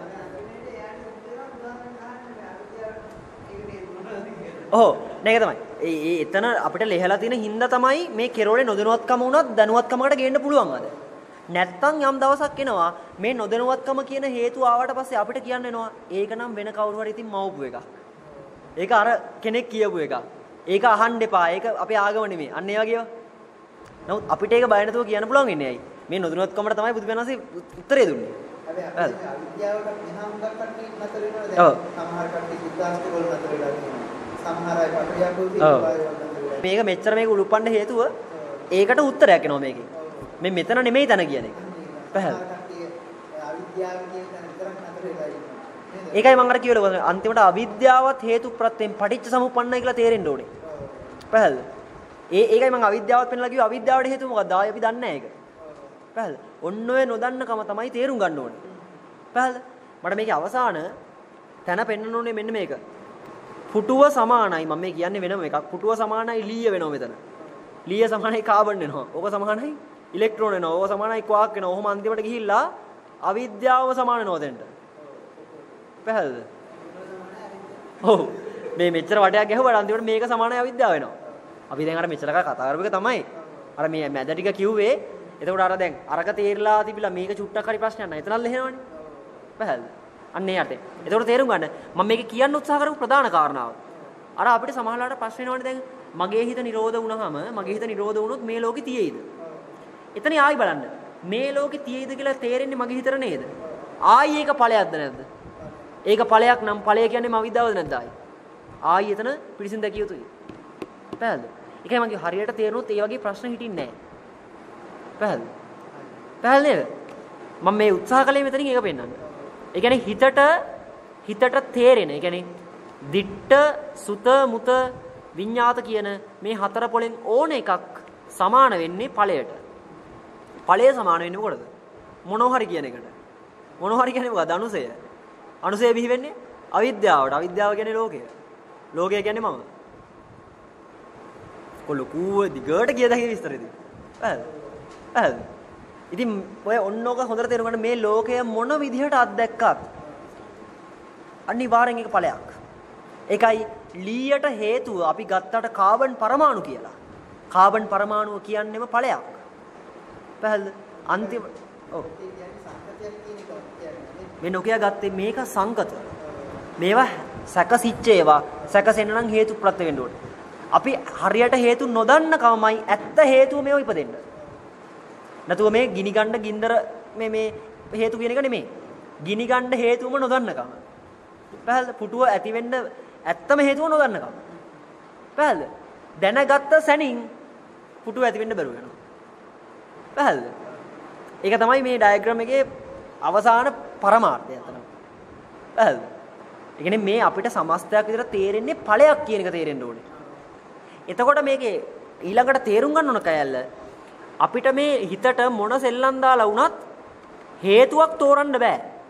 අපිට තේරෙන්නේ හේතුව කියලා හරි ඵලයක්. පැහැදිලිද? ඒ කියන්නේ මම කිව්වේ පුටුවට හේතුවක් ලී තමයි. හැබැයි ඇත්තරම ලීය කියන්නේ ඵලයක්. පැහැදිලිද? එතකොට මේ අපි කිව්වට කොච්චර වුණත් මට හේතු පේනවා නම් මනම් කියලා. හේතු කියලා දාන එයා ගන්නෙත් ඵලයකට. ඉතින් අන්තිමට කොහෙන් ගියත් ඵලයකට ඇවිල්ලානේ. ඒ කියන්නේ අනුසයට බහැලානේ. ඒ කියන්නේ අවිද්‍යාව ඉන්නවනේ. ඒ කියන්නේ තාම ආලෝකය උදා වෙලා නැහෙනේ. පැහැදිලිද? ඉතින් මෙතනයි මම කියන්න ගියේ මේකයි. අපි යම් කිසි විදිහකින් මේ හිතට හිතෙන දේ ගැන හිතට හිතෙන ඵලය ගැන විස්තරයක් නම් අහගන්නේ. ඒක ඵලය සාධාරණය කිරීම. පැහැදිලිද? දැන් අපිට තේරෙනවා මේක. පුටුව කියන එක නම් පවතින්න බෑ. පවතින හෝ නොපවතිනව නෙමෙයි. ඇයි? ලී කියන හේතුවෙන් තමයි පුටුව දා වෙන්නේ. ඒතර අපිට හිතෙනවා හරිනේ. පුටුව කියන එක නම් තියෙන්න බෑ තමයි. හැබැයි අපිට රක් ගාලා හිතනවා ලී කියන හේතුව පවතින්න පුළුවන්. මම අහන්නේ ලී කියලා තේරෙන්නේ හිතරද නැද්ද? ඉතින් හිතට තේරෙන්නේ ඵලයක් කියන එක මුලින්ම තේරුම් ගන්න. අපි ඔය කරන්නේ මොකද්ද? පුටුව කියන එක නෑ කියලා ඔප්පුව ගන්නවා ලීය කියන එක තියනවා කියලා අරගෙන. ඉතින් මොවේ මොකද්ද වෙන්නේ? බැටන් පොල්ල මාරු කරන්න තව කෙනෙක් ඉන්න වෙනවා දැන්. තනියෙන් ඉන්න බෑ දැන්. එතකොට යා පරප්‍රත්‍ය සහිතද නැද්ද? ඇයි පුටුව කියන එකෙන් අයින් වෙන්නේ ලීය කියන පරප්‍රත්‍ය ඇත්ත? සහිතයි තන. පැහැදිලිද? මොකක්වත් එනව නෙමෙයි. මේ ඵලය කියන එක පටලවලා ගත්තොත් ප්‍රශ්නේ. අපිට සමහරවිට දෙනවා සමහර ඵල ඇත්තට හේතු වගේ කියලා. දැන් නෑ නෑ ඒක තමයි මේ දෝෂේ මම මේ කියන්න ගියේ. පැහැදිලිද? ලීය කියන්නේ මේ ලෝක සම්මතයෙන් හේතුවක් තමයි පුටුව බිහි වෙන්න. අපිට ඕනේ ලෝකේ තියෙන හේතු ගන්න නෙමෙයි කියන එකයි මම මේ ඔප්පු කරේ. අපි ලෝකේ කොච්චර හේතු කිව්වත් ඒක පරමාර්ථ දර්ශනයට අනුව ඵලයක්. අපිට හේතුව වෙන්නේ අන්න ඒකයි. අපිට ඒක ආයි ඵලයෙන් මැද සාධාරණය වෙන්නේ ඵලය දැන් ගැටලුවක් නැති වෙනවා. පැහැදිලිද? මම උත්සාහ කළේ මේ ලෝකේ තියෙන හේතු ගැන ගැටලුවක් පෙන්වන්න නෙමෙයි. අපිට ඕව නවත්තන්න බෑ. ඒ කියන්නේ දැන් මම පුටු හදන මනුස්සයෙක් කිව්වොත් එimhe ඔය පුටු කකුල කියන්නේ පුටුවේ හේතුවක් නෙමෙයි පුටු කකුල එන්නේ පුටුව වගේමයි කියලා. ඒක අල්ලන්න බෑ යාට. හැබැයි ප්‍රඥාවන්ත කිව්වොත් නොඅල්ලා ඉන්නෙත් නෑ ඒක. මම එතන කියන්නේ මේ ලෝකෙ පැත්තෙන් මම පෙන්නම් ආවේ මේක.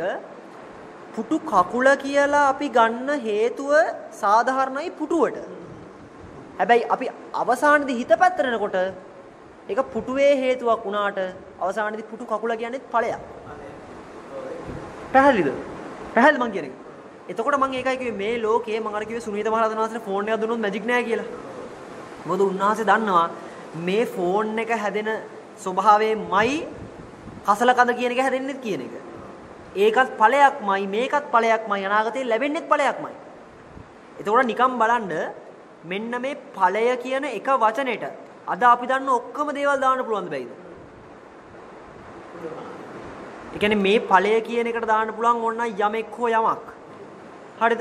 ඊට පස්සේ මේකට ඕනනම් පුළුවන් ද්‍රව්‍ය වස්තු පුද්ගල දේපල. ඊටත් එහා ඕනනම් කාර් වාහන බස් ලොරි ඕන එක. අම්මා තාත්තා නංගි මල්ලි අයියා අක්කා කරපොත් අහුණගෙම ඔක්කොම. මේ ඵලය කියන එක සමානයි ලෝකෙට නමක්. ඵලය සමානයි සබ්බ කියන එකට නමක්. සියල්ල කියන්නේ ඵලයට නමක්. පැහැදිලිද? මම අහන්නේ දැන් මේ අර්ථෙදී අපිට හිතට හිතෙන සියල්ලම ඵලයක් නම් ඵලයම කියන්නේ ලෝකය නම් ලෝකය නිරුද්ධ වීම කියලා කියද්දී එයාට බින්දු මාත්‍රිය කිසිදු අදහසක් තියෙන්න පුළුවන්ද නිරෝධය කියන තැනදී? පැහැදිලි ඒ කියන්නේ දැන් ඵලය කියන්නේ සියල්ල නම් සබ්බ ආසව සංවර පරියායක් බුදු පියාණන් වහන්සේ කියනවනම් කියන්නේ සමස්ත ආශ්‍රවශය කියනවනම් නිරෝධය කියලා තැන අපිට තේරෙන්න ඕනද නැද්ද මේ ශුන්්‍යතාවය කියන්නේ මොනවත් නැති එකක් නෙමෙයි මොනවත් නැහැ කියන එකවත් තියෙන්න බැරි වෙන්න ඕනේ කියලා. ඉන්නේ ඵලයක්ම තියෙන්න බැරි වෙන්න ඕනේ කියලා එනව නේද? පැහැදිලිද? අන්න ඒ අර්ථය මම කිව්වේ මේකේ. මේ මේ ඊටාම ලෞකික අර්ථකින් මේ පෙන්වුවේ මේක. පැහැදිලිද? ගන්න පුළුවන්.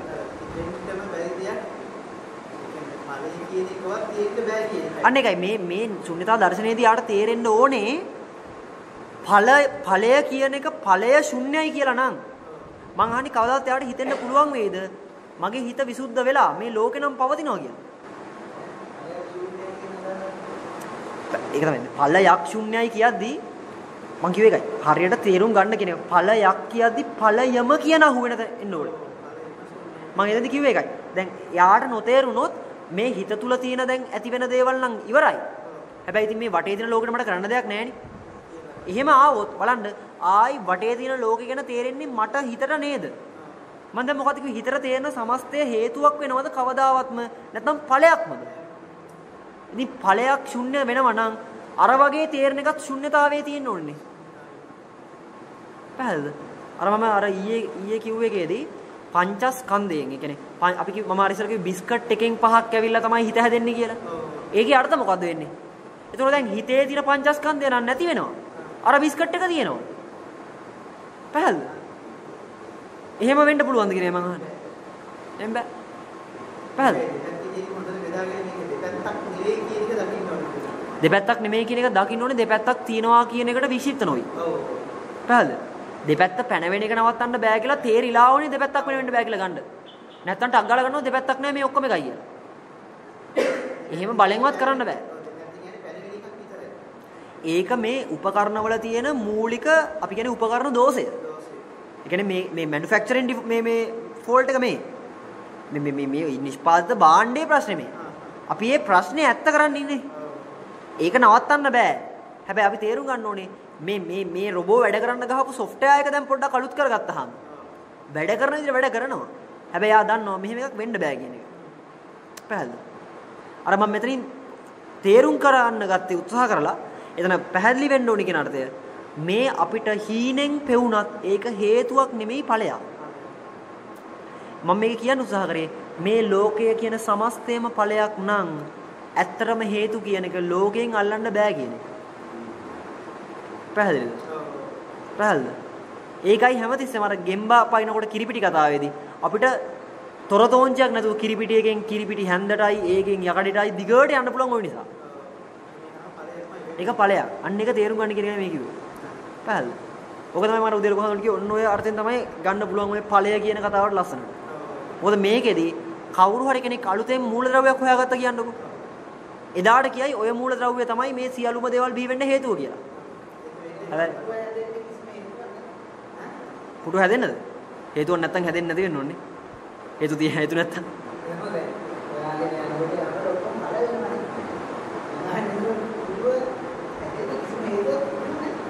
හේ එකම හේතුව තමයි නොදන්නවා. වැඩිදිනේ අන්නේ හේතුව තේරුම් ගන්න බැරි කමයි අපිට තියෙන්නේ මේ දැන්. කියන්නේ දැන් පුටුව හැදෙන්න හේතුවක් දැන් මෙහෙම බැලුවම ඇත්තටම නැති වෙනවනේ. ඉතින් එතකොට හේතුවක් අපිට හිතෙන්නේ හේතුවක් නැහැ කියලානේ. අපිට තේරෙන්නේ නැහනේ හේතුවක් තියෙනවා අපි නොදන්නකම කියලා. පැහැල්ද? ඒක අපිට දෙන්නේ අපි බලන්නෙම මේ ලෝකෙ මොන හරි හේතුවක් ගන්න.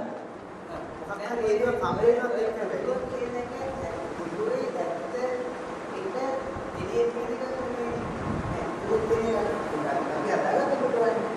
ඔව්.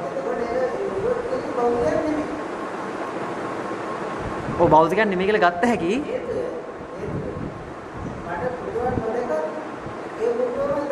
ඒක ඒක. ඔව් හැබැයි එතනදී ප්‍රශ්නයක් ගත්ත කියලා බලන්න මෙහෙම.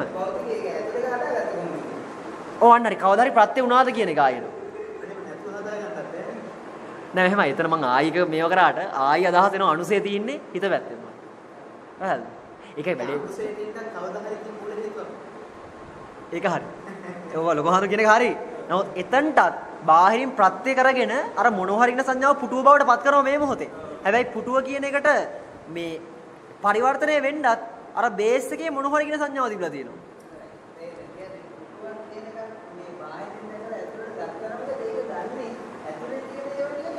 අන්න හරි අන්න හරි. ඒ අර ඇතුලේ මොනෝහරි කියන අනුසයෙන් තමයි උලුප්පන්නේ ටස් ගාලා. හැබැයි ඒකට අපිව පවත්ව ගන්න මෙහෙනුත් ප්‍රත්‍යවි ප්‍රත්‍යවි හරි තියෙනවා කිය ගන්නවා. ඒක නෑ කියන එක කොහොමවත් වැරදි. ඒක නෑ කියන අර අර්ථේ. මොකද නෑ කිව්ව සනින් දන්න ඕනේ එහෙනම් තිබ්බ එකක් නැති කියලා. පැහැල්. අර හොඳම කියන අරක නැති භවයේ අවසානයේ ඇති බව. ඒක හරියන්නේ නෑ. පැහැල්. ඒකයි දැන් මම මේක පෙන්නුවේ ඵලය කියන එකට ඵලය කියන එක දැන් අපිට ආනේ අදහසක් පුටුව තියෙනවා හෝ නෑ නෙමෙයි. අවසානට ආවනේ කෙලින්ම අවිජ්ජාවක් තියෙනව හෝ නෑ නෙමෙයි හේතු ප්‍රත්‍යයෙන් තමයි උදා වෙන්නේ කියලා. දැන් තේරෙනවද පරමාර්ථයේදී බුදුගණ වහන්සේලා හේතුඵල ධමයක් ගේන්නේ මෙන්න මේ කෙරවලට එනකොට. පැහැදිලිද? දැන් අපිට තේරුම් ගන්න වෙනවා මේ ඵලය බිහි වෙනනම් ඇත්තම හේතුව ප්‍රත්‍ය වෙන්න ඕනි කියන ඒ හේතුව තමයි අවිද්‍යාව, කර්ම තණ්හා නිබ්බත් ලක්ෂණ කියලා ගන්න වෙන්නේ අපි දන්න මට්ටමට. මම මුලින්ම කිව්වේ මෙන්න මම මේ පෙන්නපු මේ මේ මේ තියෙන ඩයග්‍රෑම් එක ලොකු දෝෂයක් තියෙනවා කියලා.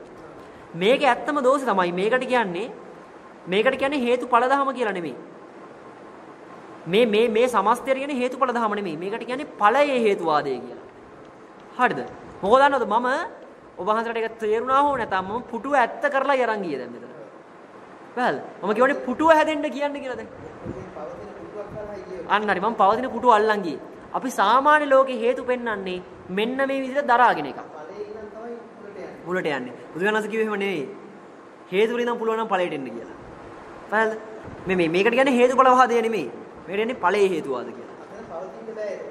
ඒකයි. දැන් නොදැනුවත්කමනේ අවසානයේදී අපිට ප්‍රශ්නයක් ආවේ නොදැනුවත්කමයි හේතුව ඵලයකට කියලා. ඒ කියන්නේ මේ අපිට ආව නේද? නොදන්නාකම. නොදන්නාකම තමයි හේතු ප්‍රත්‍ය වෙන්නේ ඵලයක් බිහිවීමට කියලා. එතකොට මේක මේ නොදන්නාකම කියන එක හෙව්වහම අපි දැනුවත් වෙනවද නැද්ද? දැනුවත් වුණා කියන විද්‍යාව පහළනවා කියන එක. ඒ කියන්නේ මොකද්ද? නිරෝධ සාක්ෂාත් වුණා කියන එක. එදාට තේරෙනවා අන්තිමට ඵලය නම් පැනවෙන්න හේතුව නොදන්නකම තමයි. හැබැයි දැනගත්තාම තේනවා ඵලෙම පැනවෙන්න බෑ කියන එක. එතන වෙනසක් තියනවලු. අනේ ඒකවාදේ තමයි අපි ගොඩක් දුරට ඒ කියන්නේ මේ දෙවියන් යන කේස් එකක් ආවම ලෙඩක් ආවම ප්‍රශ්නයක් ආවම ප්‍රශ්නේ අරගෙන ඒක ඒක මෙහියා වයින්ද ඔව් මෙහි ඉඳලා ඒක එළියට අරන් ඇනලයිස් කරගෙන කරගෙන යනවා එතකොට ඒ එක්කම යන්නේ මම යනවා ඒ ගම අර ඒකට කියන්නේ අතට ප්‍රශ්නය ආවහම උත්තරය හොයන්න යෑමමයි ලොකුම ප්‍රශ්නේ. ඔව් ඒක තමයි කියන්නේ ඒතර ප්‍රශ්නේ හොයාගත්තා නම් හරි. පැහැදිලි. අන්න ඒකයි. අපි කරන්නෙම එළියට දාගෙන උත්තර හොයන එක. විසඳෙන්නේ නැහැ. ඇයි ප්‍රශ්නේ ඇත්ත කරලානේ යන්නේ? ප්‍රශ්නේම බොරුවක් කියලා දැනගත්තත් ප්‍රශ්නේ ප්‍රශ්නේ ආපුව ආවම අන්න. කල් කරන්න ප්‍රශ්නේ එළියට දාලා ප්‍රශ්නේ තුල ඉඳන් බැලුවා නම් හරි. අනිත් ප්‍රශ්නේ නෑ කියලා දැක්කම ඉවරයි. ඒ- ඒක තමයි. දැන් මෙහෙමයි ඔය කිව්ව එක ඔය කිව්ව එක තෝරගන්න පුළුවන් වෙන්නේ මේ මෙහෙම දැක්කොත්. නැත්තම් කවදාවත් කියනකෝ බලන්න ප්‍රශ්නේ තියෙන විදිහට තියාගන්න කියලා. එහෙම මිනිස්සු නිකන් මැරෙනවා.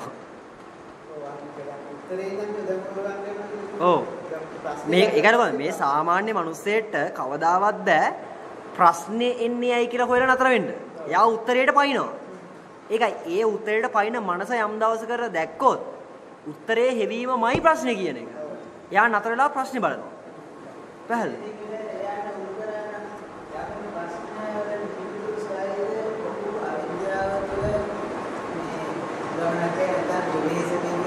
කාරණා.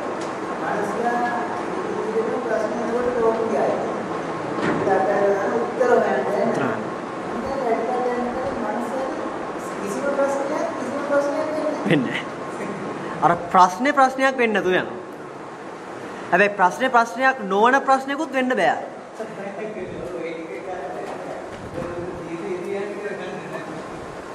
ඒක පැහැදිලි නේද? ඒ ප්‍රශ්නේ ප්‍රශ්නයක් වෙන්නෙත් නැහැ. ප්‍රශ්නේ ප්‍රශ්නයක් නොවන එක ප්‍රශ්නයක් වෙන්නෙත් නැහැ.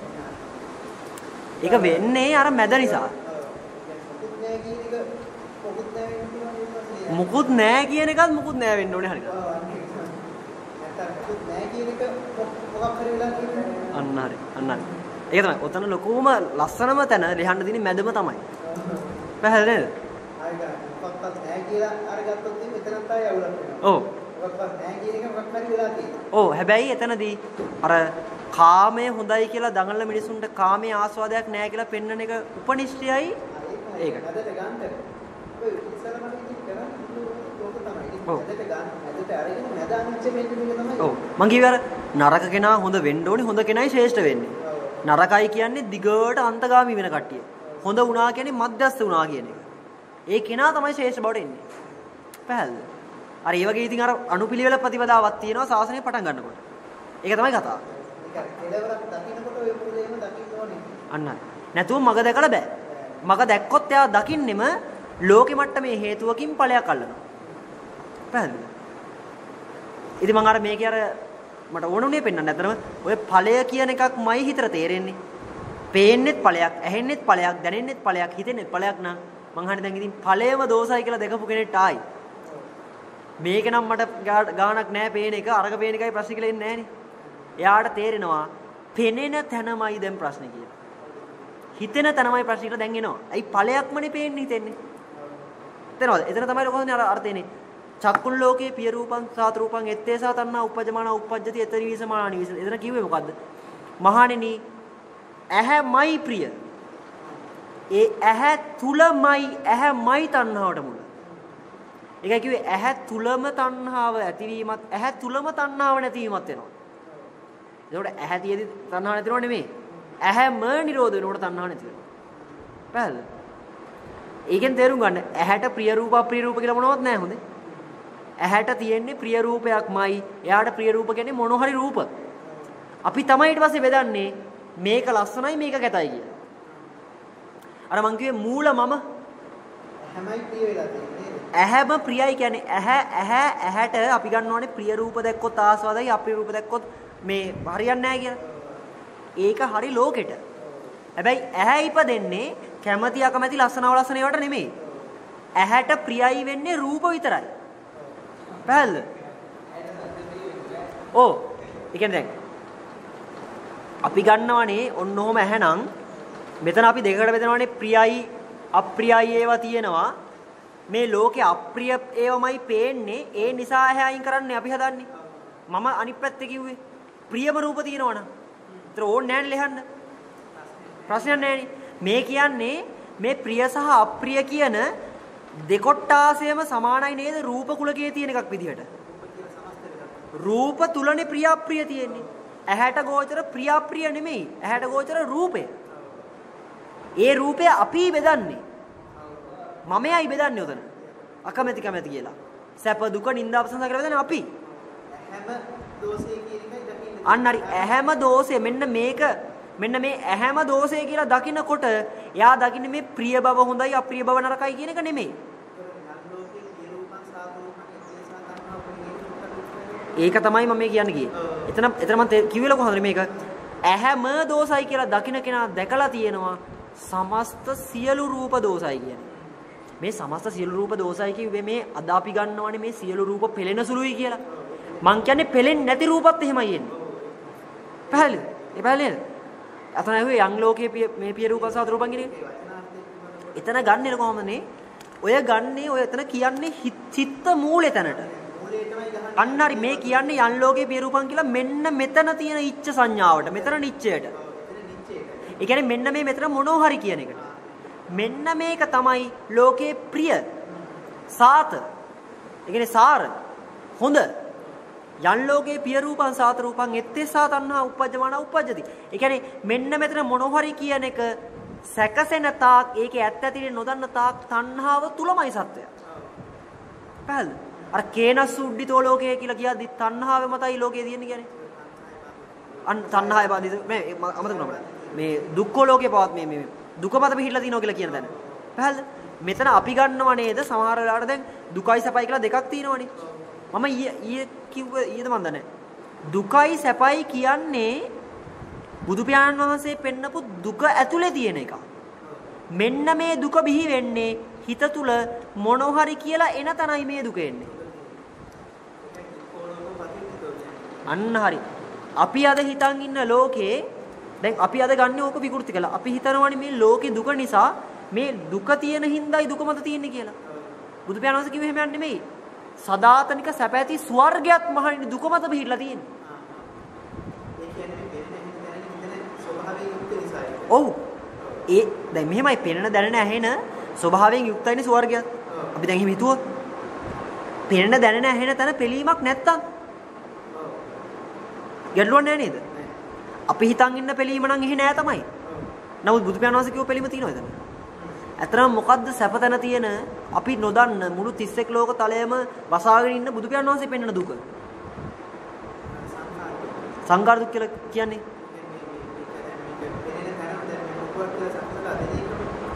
ඒ කියන්නේ මෙතන ඔක තව තීව්‍ර වුණොත් පැනවෙන්න බැරි දෙයක් සැපයි කියලා ගන්න එකම දෝසයි. පැනවිලා පේන එක දෝසයි කියලා තේරෙන්නේ පැනවෙන්න බෑ කියලා දන්න කෙනා. නෑ ඒක හරි. නොපවතින තැනක ස්වර්ගීය වේසෙන් හෝ සදාතනික සැපයක් එනවා නම් ඒක තුච්ච නැද්ද කියලා අහන්නේ. පැහැදිලිද? ලොකම ඒක තේරෙනවද? කවුරු හරි වෙන බැතිමතෙක් වුණත් ඔය න්‍යාය උතන අවබෝධ වුණොත් ඒගොල්ලෝ හිතන් ඉන්න කිසිම ලෝකයක් සාරයි කියලා හිතෙන්නේ නැහැ. හිතන්න බැරුව යනවා. හොඳ හිතෙන්නේ නැහැ නෙමෙයි. මොකද එයා කොහොම කිව්වත් එයා දන්නවා මෙතන තියෙන දෙයක් නම් ගමනක් නැහැ. ඒ කියන්නේ මනුසතලයේ දුක තියෙන නිසා ස්වර්ගස්ත වුණාට කමක් නැහැ. එතන දුක නැත්තම්. ඒ දුක නැත්තේ අපි හිතන් ඉන්න මේ දුකක්නේ. නමුත් ඇත්ත දුක මොකද්ද මිනිස්සු දැක ගන්න ඕනේ. පැනවෙන්න බැරි තැන සපක් කීමත් දුක. ඒ ඒ පැනවෙන එකෙන් සපක් ආව කියලා වැඩක් තියනවද? පැහැදිලිම කිව්ව එක. මේ ලෝකේ තියෙන පරම සැපේ දුක මොකද්ද? ඒ සැප එන්නේ පැනවෙන්නම බැරි එකකින්. ඒක හරියට පිස්සෙක් මම ජනාධිපති කියලා කියවනවා වගේ. පැහැදිලිද? පැනවෙන්න බැරි තැනක පැනවිලා තියෙනවා. ඒක හරි. සැපේ දුක තමයි පැනවෙන්න බැරි තැනකින් මේ ඉන්නේ සැප. එන ඇත්තටම පවතින්න බැරි තැනකින් මේ සැප ඇවිල්ලා තියෙන්නේ. ඇත්තටම පැනවෙච්ච තැනකින් දුක එනවා නම් ඇත්තටම පැනවෙච්ච තැනක් තියෙන්න ඕනේ සැපත් ලැබෙන. හැබැයි මෙතන මේ කිව්වේ පැනවෙච්ච දෙයකින් සැප දුක එනවා කියන එකට නෙමෙයි. පැනවෙන්න බැරි තැනකින් දුකක් එන එක කොහොමද දුකයි? පැනවෙන්න බැරි තැනකින් සැපක් එනවා කියන ඊට වඩා දුකයි. පැහැදිලිද? පැහැදිලි. ඒකනේ දැන් සැප තියෙන කට්ටිය ආයි දුක ගැන දන්නේම නැතුනම හොයන්නේවත් නැහැ නිරෝධයක්. හැබැයි ඒ මිනිස්සු තමයි හොයන්න ඕනේ හරියට. මේක වෙන්නේ කියන එක. හැබැයි මම අර කලින් අර කොටු කරලා තිබ්බ තැන් වලින් හැටියට මේ අර්ථය හරියට පෙන්වන්න බැරි නම් එතන දුක පෙන්වන්න බෑ. පැහැදිලිද? ඒකයි මං කිව්වේ ඔය කෙරෝලම හරියට කියන්නේ නැතුව කිසිදු අන්‍ය ආගමිකෙක් බුද්ධහමට එන්නේ නැහැ. ඒතර බුදු පියාණන් වහන්සේ කරපු විදිය ලේසි නෑ. ඔව් ඒක. ඒ ඒක 100ක් හලෝ. එයා ප්‍රඥාවන්ත වෙනවනම් තමයි අපිට අපහසු වෙන්නේ. වෙන්නේ. ඔව් නෑ ඒක තමයි. දැන් මේ අපි අපි තේරුම් ගත යුත්තේ අර අර කියනවා වගේ. අපේ එන්න එන ප්‍රඥාව මොට වෙනවනේ. ඒ හින්දා කවුරුත් මෙවැනි තාර්කිකව හිතන්නේ නැහැ. නමුත් මම කිව්වේ ඒකයි. නමුත් ප්‍රඥාවන්තයෙක්ගෙන් හරි දෝෂාරෝපණයක් එල්ල වෙන්නේ නැහැ සත්පුරුෂයෙකුට. මොකද එයා දන්නවා කියලා වරම.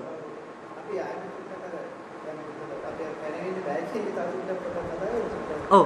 පැනෙන්නේ බෑ කියන සාපරට පැහැදිලි කරගන්න දෙයක් ඒක අර අර අර අර පැත්තෙම මම තව පොඩි කණකට මේ පටිච්ච සමුප්පාද කියනට අර්ථ දිනවනේ ගැළපිලා බෙදෙනවා කියලා. ඒක ඒ ඒ එතන ඒ වචනේ දෝෂයක් නැහැ. මේ මේ භෞතිකයට දාන්න නැත්තම්. එතන ගත්තා නම් හරි මේක. ඇස කියන්නේ ඇස බැඳෙන්නේ පෙනීමට. කැමැති අකමැති ප්‍රිය අප්‍රිය ඒවා නෙමෙයි. ඇස බැඳෙන්නේ පෙනීමට. හැබැයි ඇස බැඳෙන්නේ පෙනීමට නම් ගැලපෙන්න පුළුවන් ද සද්ද? ගැලපෙන්න ඕනේ රූප. අන්න ඒකට අර අර්ථය හරි. අන්න හරි. ඇස ගැලපෙන්නේ පෙනීමට බැඳෙන්නේ රූප.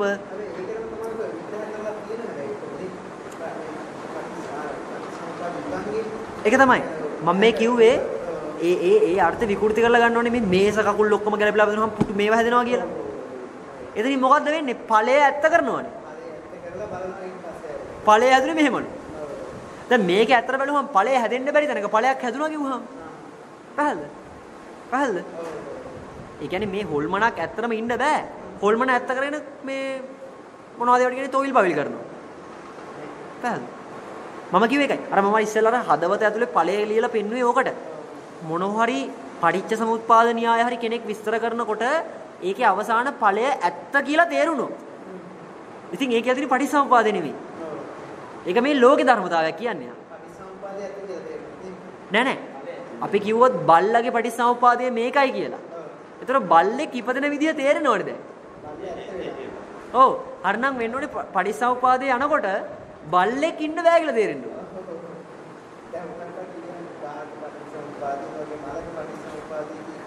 දෝෂ නෑ. කිසි දෝෂයක් නෑ කියන එකේ. ඒ මනුස්සයාගේ හැඟීම මොකද්ද කියන ප්‍රශ්නේ මේද? ඒ මනුස්සයාට 100% විශ්වාසයි මල තියනවා හෝ නෑ නන් නෙවෙයි. පරිසම්පාදයෙන් මල ඇති වෙනවා. ඉතින් ලියන්න බෑනේ ඕවා. ඒක හරියට නොතේරි සාසනයේ අර්ථයම විකෘති වෙනවා. පැහැදිලිද? ඔය ඒකයි මම කියන්නේ. අපි අද වචන පොස් වෙලා තියෙන්නේ. ඇත නැත කියන එකට දැන් කට්ටිය උදාවීම වැයම කියලා නිකන් කියනවා. ඔව් නෑ ඇත නැත කියන එක අපි අහලා තියෙනවනේ දෝසයි කියලා. දැන් සාසනයේ තියෙන උද්‍යව්වේ කියලා. ඒ දෙක බඳනවා ඒකට. එතකොට ඉන්න කෝපය උදාලා කෝපය වෙනවලු. ඉතින් එතන සාධාරණ ප්‍රශ්නයක් කියනවා නේද මොකද්ද උදා වෙලා මොකද්ද වැවුනේ කියලා. ඉතින් ලෙහන්න බෑනේ ඒක. පැහැදිලිද? ඒක තමයි කියන්නේ. ඕකේ මම තව එක පැත්තකින් එකක් මම පෙන්නනවා. මෙන්න මෙහෙම එකක් ගන්න. මේක අර කලින් කියපු එකම තමයි. නමුත් මේක පොඩ්ඩක් විස්තර කරගත්තාම ලේසියි. හරිද? අපි නිකමට ගමු. ඔව්. ඔව් විස්තර වෙනවනේ. මෙන්න මේක. හරිද? මොකක් හරි වෙනවනම්. හරිද? මෙන්න මේක. හරිද? දැන් මම දන්නවා මේක මොනව හරි කියලා හිතා ගන්න පුළුවන්. මං අහන්නේ මේකයි. මේකට කියන ඇත්තම නම් මොකද්ද?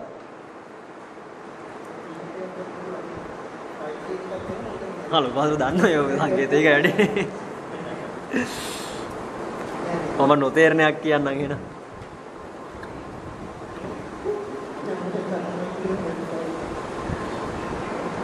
ඊ දවසට ඉගෙන ගත්තේ මතකත් නෑද? මේක මොකද? නෑ නෑ මම මේක පෙන්නුවේ නෑ කලින්. මම මේ කලින් පෙන්නුවේ නෑ. මේ අලුතෙන්ම ලිව්වේ. හරිද? දැන් මෙහෙමයි. දැන් දැන් දැන් හරි. දන්න උත්තරයක් කියනකෝ බලන්න මොකද මේ කියන්නේ?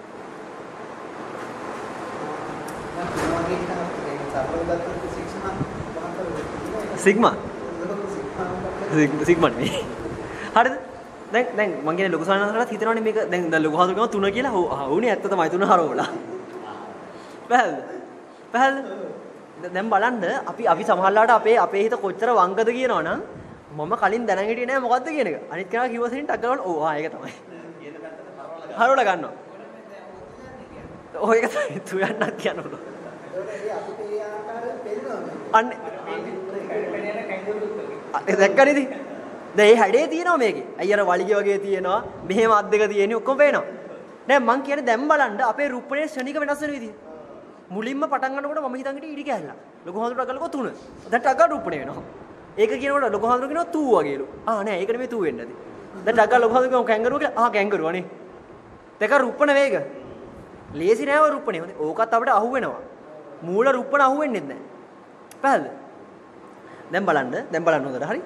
දැන් දැන් ලොකු සවනසලා කිව්ව හැම උත්තරේම ලොකු සවනසලා දන්නව නේද මේක ඉරක් හරි කියලා. දන්නවනේ මේක පොඩි කාලෙත් මේ වගේම ඉරි ඇඳ අපි කොහොමත් ඉස්සරහට මේ ඉරි අඳින්න පුළුවන්. කොහොම ඔක්කොම දන්නවනේ. හැබැයි ඔය කියපු එකක්වත් නෙමෙයි හරි උත්තරේ. හරිද? දැන් මට මං කෙරෙහි පොඩ්ඩක් ශ්‍රද්ධාවෙන් ගන්න මට මේකේ වචනේ හැමේ වුණාට කාලින් පාවිච්චි කරනවා නේද? ඔන්න බලන්න දැන් වෙන වැඩේ හොඳේ.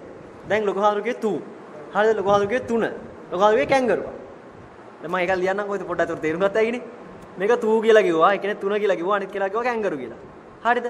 මං කියනවා මේ තුනම වැරදි දැන්. දැන් බලන්න කුතුහලයක් එනවා නේද හිතට? හරි මේක වැරදි කියන්නේ කලින් වුණත් මේකට කියන්නේ නැත්තේ අපි දන්න එක නෙමෙයි. අනාගතේ වුණත් මේක නෙමෙයි අපි හිතන් හිටපු එක නෙමෙයි. දැන් එනව නේද මොකද්ද හාමුදුරනේ ඇත්තනම කියලා. ඔන්න බලන්න දැන් වෙන වැඩේ. හිත බලන්න හරියට හරි. මේ මොහොතේ මේ සංකේතෙට මම දුන්න වචනේ වැරදි කියන තැනම මට තේරුණාද නැද්ද අතීතෙත් මම එහෙනම් මේකට කිව්වේ වැරදි එකක් කියලා. අනාගතේ කිව්වා නම් ගිය වෙන්නේත් වැරදි එකක් කියලා. පැහැදිලිද? දැන් තේරෙනවද මෙන්න මෙතන අපි මේ මේ තියෙන සංකේතෙට අතීතයේ ඉඳන් තිබුණා අනාගතයේ තියෙනවා මේ මොහොතේත් පවතිනවා කියන සංඥාව ඉන්නවා කියලා. මොකක් හරි කියන එක නෙමෙයි දැන් ඒක පොඩක් අයින් කරන්න. ඒ කියන්නේ මේකට කියන ඇත්ත නම. හරිද? ඔන්න බලන්න දැන් වෙන දේ. දැන් හරියට බලන්න ඕනේ. දැන් දැන් ඔබ වහන්සේලාගේ හිතේ තියෙන්න පුළුවන් මම මේ කතරේ දාපු තුන විතරයි ඈ. වෙන මොනවත් තියෙන්න බෑ. හැබැයි වණුව තව ඩිහින් කියන එක. දැන් මම දැන් මේ මම කියන දන්න සාධාරණ වෙන්න. දැන් ඔබ වහන්සේලා කිව්ව උත්තරවල මේ වචන තුනට එහා එකක් තියෙනවා කියලා මම දන්නවා. නමුත් අපි නිකන් මෙතන සම්මතයට ආවොත් මේ තුනෙන් එහා උත්තරයක් දැන් ආවේ නෑනේ. ඒ කියන්නේ මේ තුනට එහා එකක් ඔබ වහන්සේලා දැනගන්නම බෑනේ. පැහැදිලි නේද? පැහැදිලි නේද?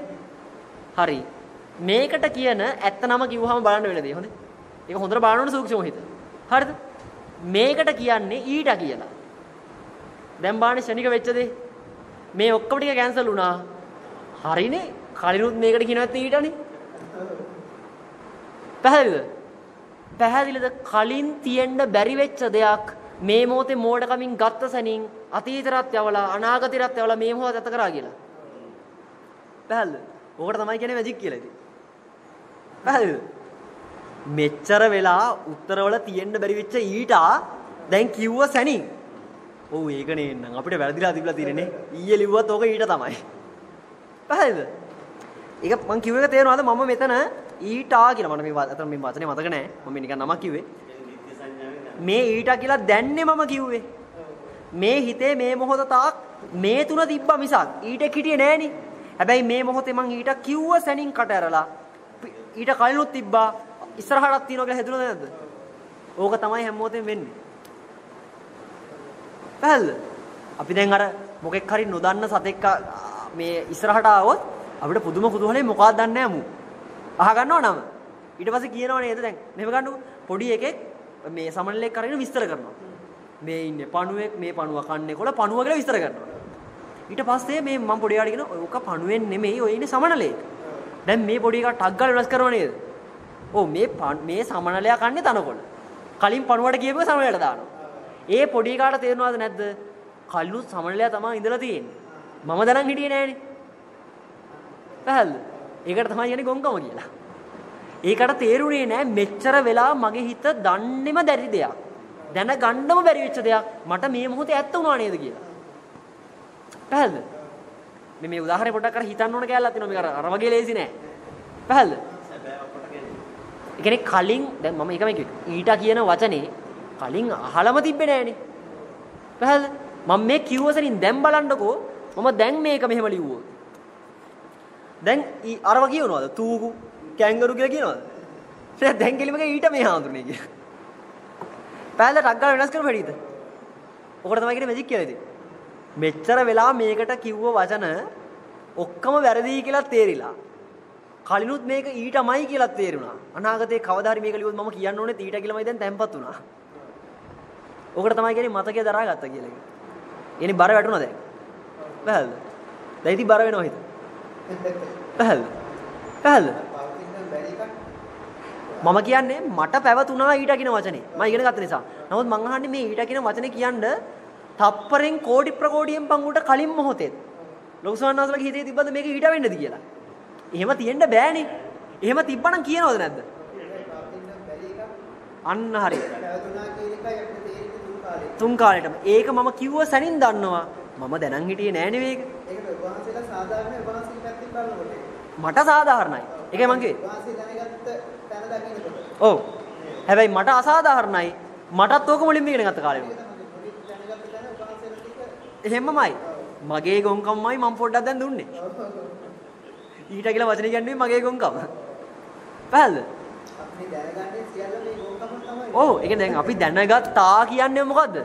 කලින් අහන්න බැරි වෙච්ච දෙයක් නේ දැන් තිබ්බා කියලා ගත්තේ. මං කිව්වොත් මේට අවුරුදු 2500කට කලින් බුදු පියාණන් වහන්සේ ඉපදුනේ කියලා. පොඩි දරුවා එච්චර කල් දැනන් ඉන්නම බෑනේ ඒක. හැබැයි යාට ටක් ගාලා හිතනද අවුරුදු 2500කට කලින් හිටියානේ. කාලේ කොච්චර පිටිවසර ගිහලාද? ඒ මොහොතේම අනාගතේ බුදු පියාණන් වහන්සේලා පහළ වෙනවනේ. ඒ අර්ථ එනවා. මම කියන්නේ දෝසයි කියලා නෙමෙයි. හරියට විනිවිද දැක්කහම ඒකත් භාවිතා කරනවා. බුදු පියාණන් වහන්සේලා නැහැ කියලා එහෙම කියන්නේ නැහැ කවුරුද ඊට පස්සේ. අර ශ්‍රද්ධාව උපරිම වෙනවා. බුදු පියාණන් වහන්සේලා කිව්වේ මේ වගේ එකක් කියන එකට. හරිද මම කිව්වේ ඒක? ඒ කියන්නේ කවදාවත් දකින්න බැරි වෙච්ච දෙයක් මේ මොහොතේ ඇත්ත කරපු සැනින් ඒක තිබුණා කියන එකට හිතෙනවා. පැහැදිලිද? පැහැදිලිද? හැබැයි අපි ධර්මයත් ඒකම තමයි. ඔව්. ධර්මයේ කියලා මේ අර එහෙම ටිකක්මයි අපි දැනගන්නේ. ඒකත් අර විදිහටම ඒකයි අර ලෝකද කියන්නේ මේ මේ ධම්මං දේසිසාමි භික්කවේ ගහනත්තා නිතරනතයි කියන්නේ. එතන කියන්නේ ඒකයි. ධර්ම ධර්ම දායාදේ ලැබුණ කෙනාට පහුරෙන් එකට වෙන්න විතරයි ඕනේ. එයා කොහොමත් ඕක කරෙන් බිමට තියන්න ඕනේ නැහැ. කරෙන් කොහොමත් බිම තමයි තියන්නේ. මොකද එයා දන්නවා දැන් ඒගොල්ලෝට ආවනම් උස්සන් යන්න ඕනේ නැහැ කොහොමද. එයාට උස්සන් යන්න බෑ ඒකත් දැන්. පැහැදිලිද? පැහැදිලිද? ඔව්. ඒ හිම අර්ථයක් මේකේ තියෙන්නේ. පැහැදිලිද? ඒ උදාහරණේ ඒ වගේ ටිකක් සූක්ෂමයි. පැහැදිලිද? මම එකක් මේකේ පෙන්වන්නම්. මේකේ මේ මේක අතර මේ මේ තාක්ෂණයේ තියෙන හින්දා වාසිය. මේකට අතරම කියන්නේ අර virtual reality කියලා සිස්ටම් එකක් මේකේ තියෙන්නේ.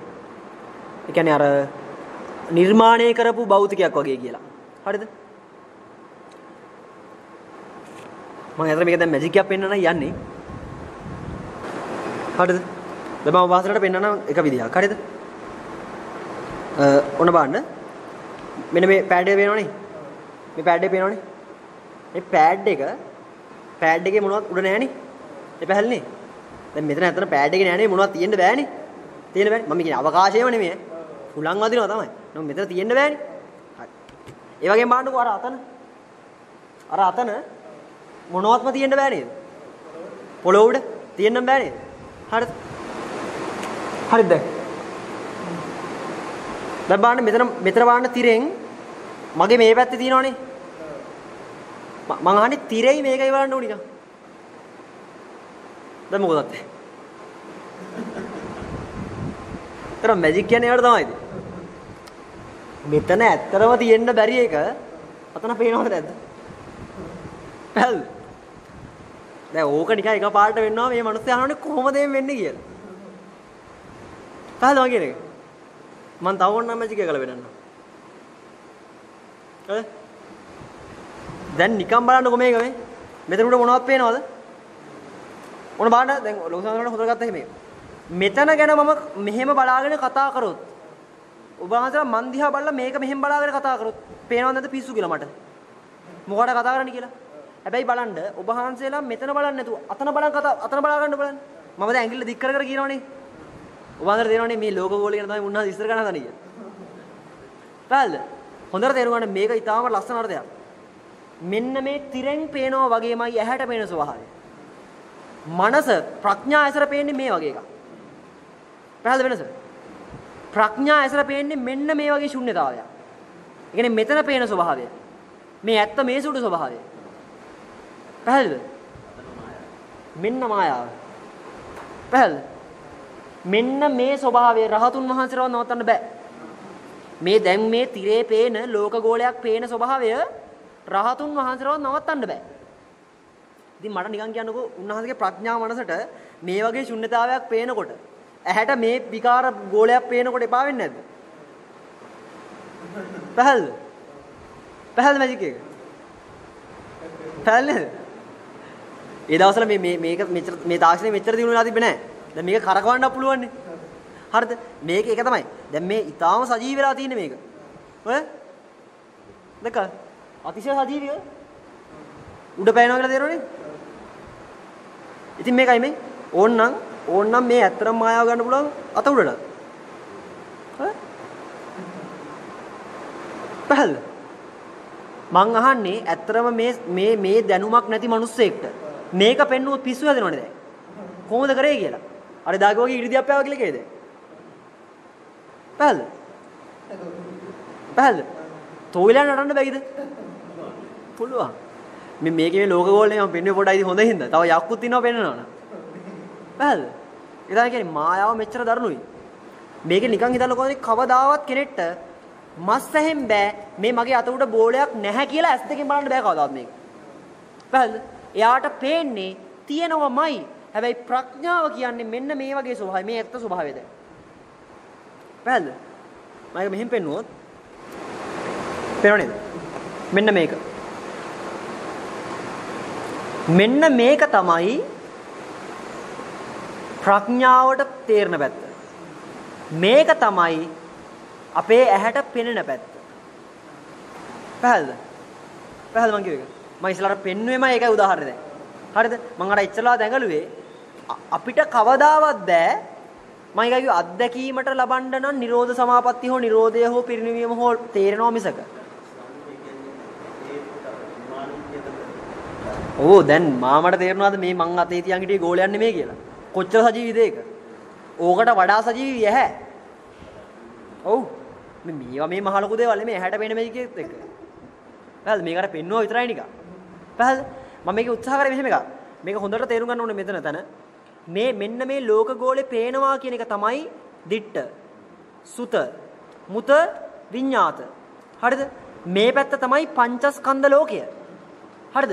අපි පංචස්කන්ධ ලෝකෙනුත් තව උපාදාන කරලා ඉන්නේ මේක. ඒ තව ඉස්සරහට ගිහලා හොඳේ. මෙන්න මේක සුද්ධ නිරෝධය. මම මේක පෙන්වන්න ඇත්තට කැමති නෑ. නමුත් මම මේක පෙන්වුවේ දැන් මේක හිතා ගන්න නම් එපා. මහා ගන්නවා ඊට පස්සේ. උතරමයි දැන් කොහොම මවා ගන්නද? ඒක කොහොමද කියන්නේ යන්න යන්න දැන් අර නිකන් ලෝක ගෝලය වගේ ගන්න එපා. මට පේන්නේ එකක් මෙතන ඇත්තට නෑනේ කියලා. ඔව් මම මේ පෙන්වුවේ මේ ඒක අභව්‍යයි. යා රංගපෑමකට යනවා නිකම්. ඒක කරන්න බෑ. මම මේ කිව්වේ ශුන්්‍යතාවයේ පෙන්වන්න තියෙන එක උපක්‍රමයක් දැන්. පැහැදිලිද? ඉතින් හොඳට බලන්න. හොඳට බලන්න. මේ ලෝක ගෝලේ පේන පැත්ත වගේ තමයි රහතුන් වහන්සේලාගේ ජීවිතය ගෙවෙන්නේ. හැබැයි උන්වහන්සේගේ චිත්තසංතානේ හරියටම සමානයි. වම් පැත්ත පැත්තේ තියෙන ලෝක ගෝලේ තියෙන්න බැරි ස්වභාවය. අන්න හරි. අර ඒ දවස් ගානෙම සමරිය ගත්තොත් මේ තමයි දෙපැත්ත. පැහැදිලි? අර උදේ ඉඳන් කතා කරලා කතා කරලා කිය කිය ආවේ රූපස්කන්ධේම පැනවෙන්න බෑගෙන ස්වභාවය තමයි වම් පැත්තේ පේන්නේ. පැහැදිලි? දැන් එතකොට ගන්න එපා දැන් අර පුටු මේසන ඔක්කොම තියෙනවා ඒවනේ එහෙම නෙමෙයි. මේ ලෝක ගෝල්ඩ් විතරයි සාපේක්ෂ කරේ. අර එහෙම පෙන්වන්න බෑ කියලා තේරෙනව නේද කවදාවත්? මේ එකක්වත් තියෙන්න බෑ කියලා පෙන්වන්න බෑ. ඇයි ඉතින් තිරයක් හරි ගහන්න එපා ඒකට. පැහැදිලිද? මම හිතනවා මේ උදාහරණය පැහැදිලි වෙන්න කියලා ටිකක් හොඳට. පැහැදිලි. ඒකයි දැන් අපි අපි තේරුම් ගන්න ඕන කාරණා තමයි. මේ ඇත්තරම මේ වම් පැත්තේ තියෙන එක නම් ඒක ඇත්තටම මම මේකේ ප්‍රශ්නවත් දන්නවද? මේ 3D හදන්න බෑ ඩෙප්ත් එකක් නැතුව. ගැඹුර නැතුව. අර කන්නඩියෙන් කරන්නේ ගැඹුර හදලා දෙනවා ඇහැට. එච්චරයි කරන්නේ. පැහැදිලි. දැන් මෙතනත් බලන්නකො මේක ගැඹුර හැදුවේ ඇත්තටම මේක එළියේ තියෙනක් කියලා තේරුනේ මේ මෙතන තියෙන මේ මේ මේ තියෙන අවකාශය සහ මෙතන අර ඡායාව. ඒ කියන්නේ හෙවණැල්ල. හෙවණැල්ල උතන ලයිට් එක වැටලා තියෙන විදි. ඒ අනුව තමයි ඇත්තටම ඔක තියෙනවා වගේ පේන්නේ. නැත්නම් ඕන පොඩි එකට තේරෙනවා මේ උඩින් අලෝප එකක් කියලා. හෙවණැල්ලෙම නැත්තම්. පැහැදිලි. ඉතින් මම කියන්න ආවේ මේ මේ මේ උදාහරණය අතිශය ගැඹුරු ඒ කියන්නේ පැහැදිලි කරගන්න ලේසි උදාහරණයක්. මේ වම් පැත්ත වගේම තමයි අර තියෙන සුද්ධ නිරෝධය දැකපු මනස.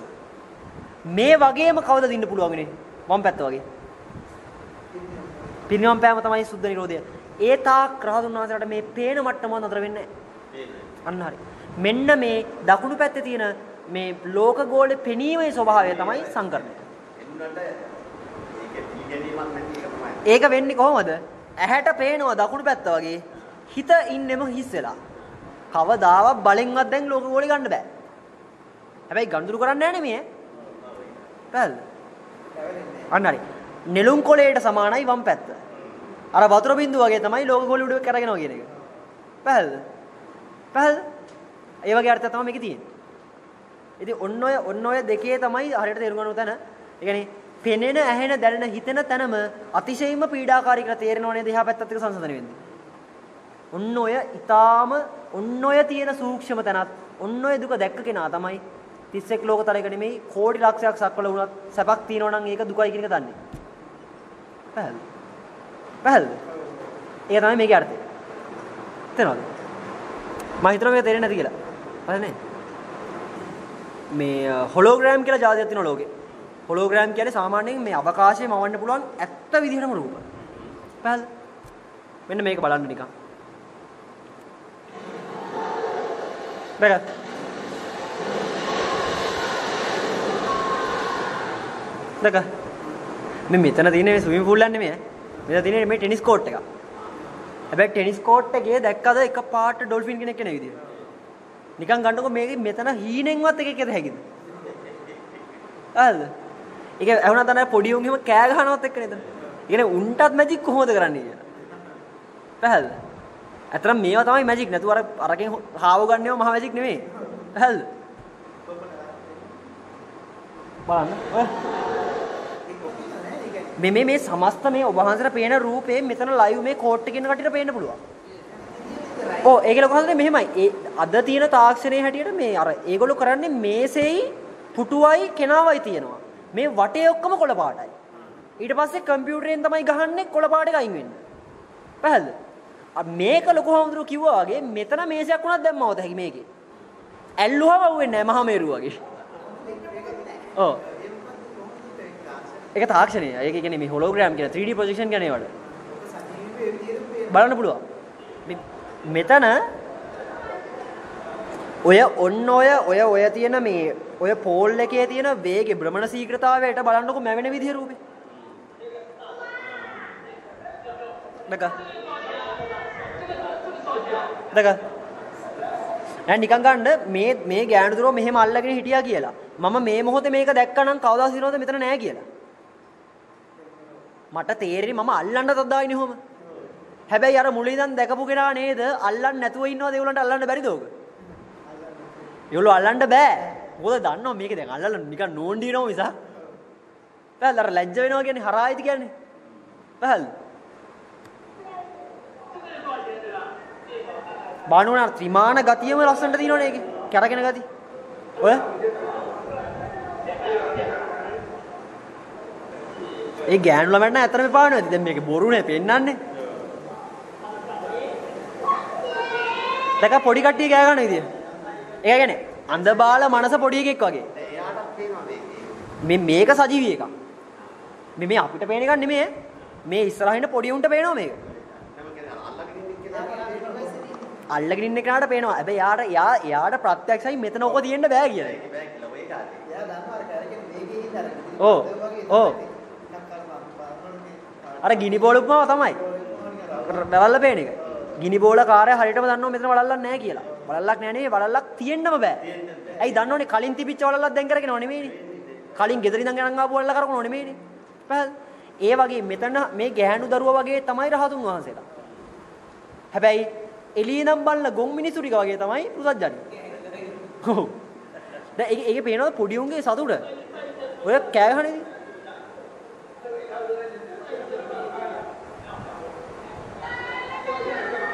කොහොමද?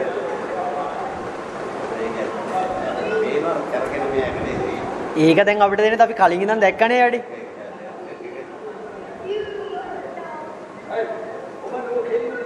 බැලනේ.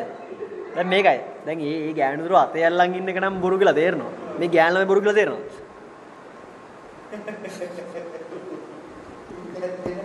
ඒකත් තේරෙනවා. ඒක දැන් හැමෝම කියන චිත්‍රපටිය නම් ඉතින් බොරු තමයි. ඉතින් හරි චිත්‍රපටිය බලන උන් ටික බොරු වෙලා නැහැ මේකද? ඒක උප ඇයි දැන් ඒක දැන් චිත්‍රපටිය පේනකොට අපි දන්නවා මේ නිලිය නම් ඇත්තටම මෙහෙම නෙමෙයි කියලා. ඒ නිලිය දැන් චිත්‍රපටිය ඉවරලා අර අර දොරෙන් ආවොත් අරක බොරු කියලා දන්නවා. ඉතින් මේවට මෙයා ඇත්තනේ. ප්‍රඥාවන්තයා දන්නවා අතනත් එකයි මෙතනත් එකයි කියන්නේ. ඒක වෙනමම කතාවක් කියන්නේ. පැහැදිලි. එයා මම මේ කියන්නේ අතර අතර උදී ඉන්නවා කතා නොකරනව නෙමෙයි. ඔක්කොම කරනවා. හිතේ ගනුදෙනු වෙන්නේ. පැහැදිලි. ඉතින් අර මේ මේ වගේ මේ තාක්ෂණික උපකරණ සෑහෙන මේ මේ විස්තර සහිතයි.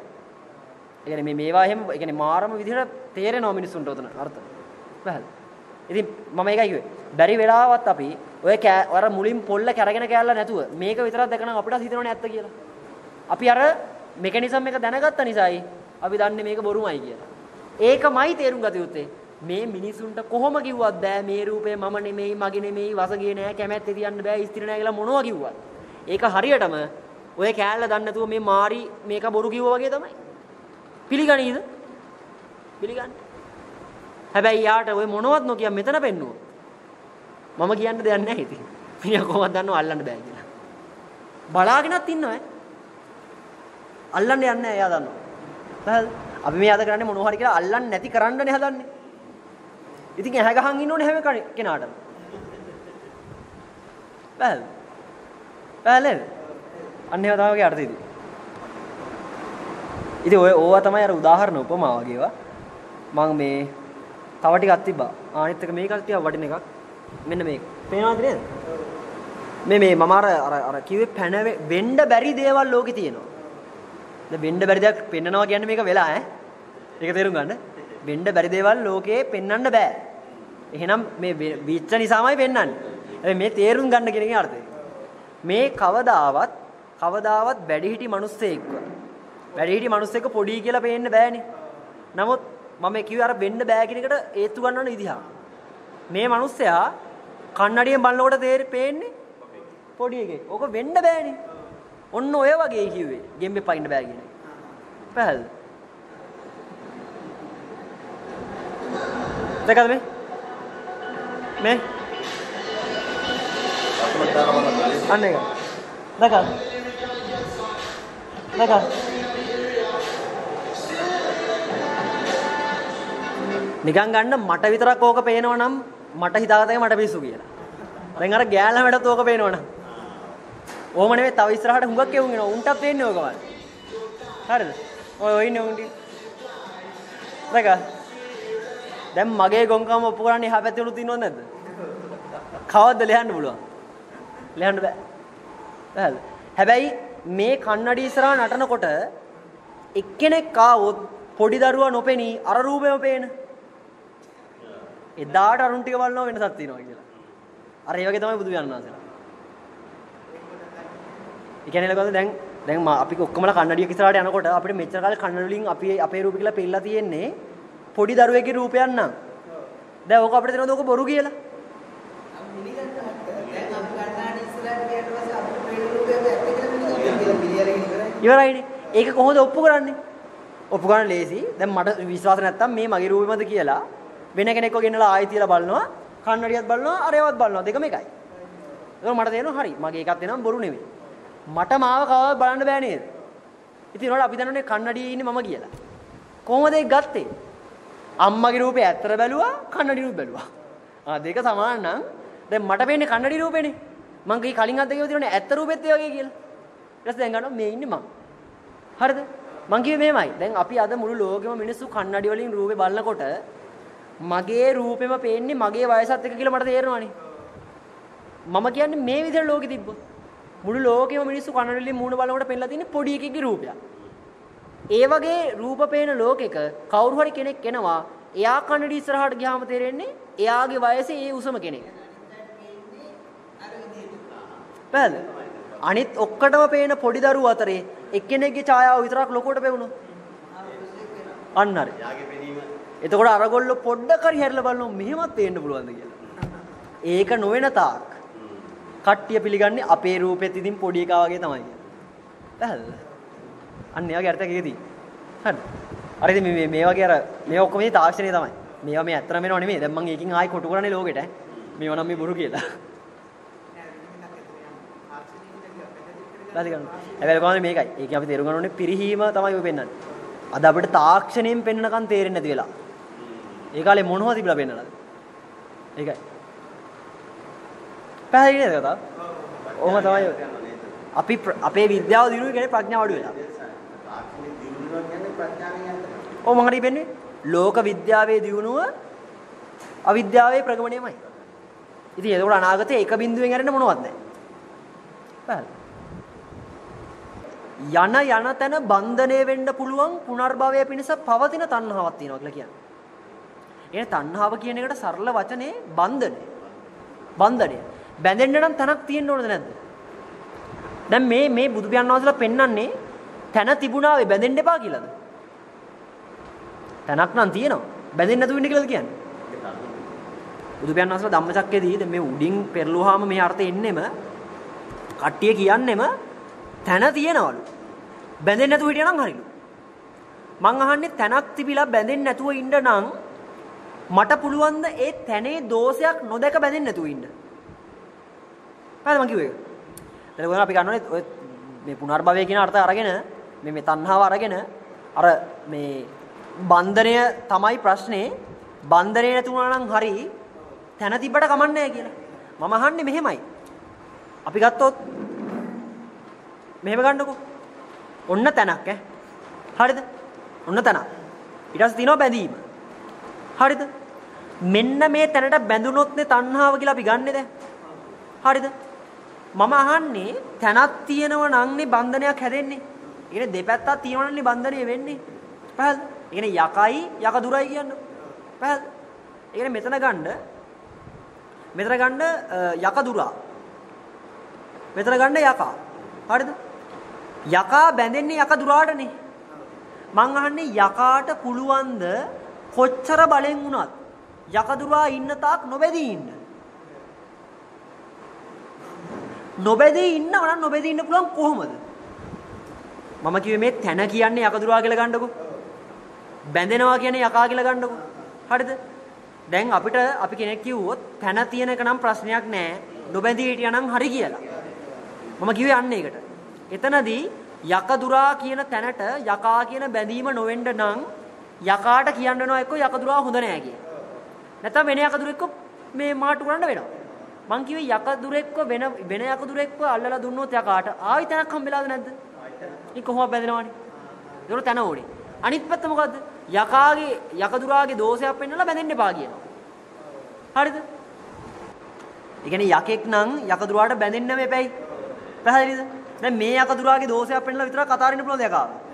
වෙන යකදුරෙක්ව මූට්ටු කරන්න මෙපැයි. යම් දවසක් යකාට තේරුණොත් එක යකදුරෙකුගේ ඒවත් ගුණයක් නැහැ කියලා.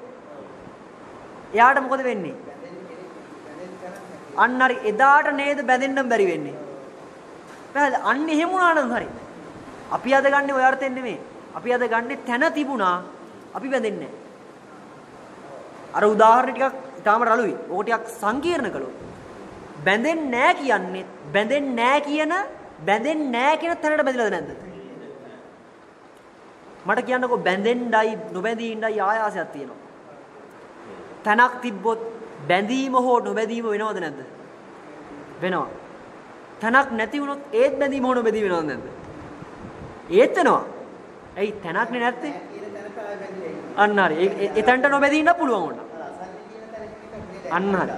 අයින් කරනවා අයින් කරන තැන එතනට බැඳිලා. බැඳිලා. වැහල්ද?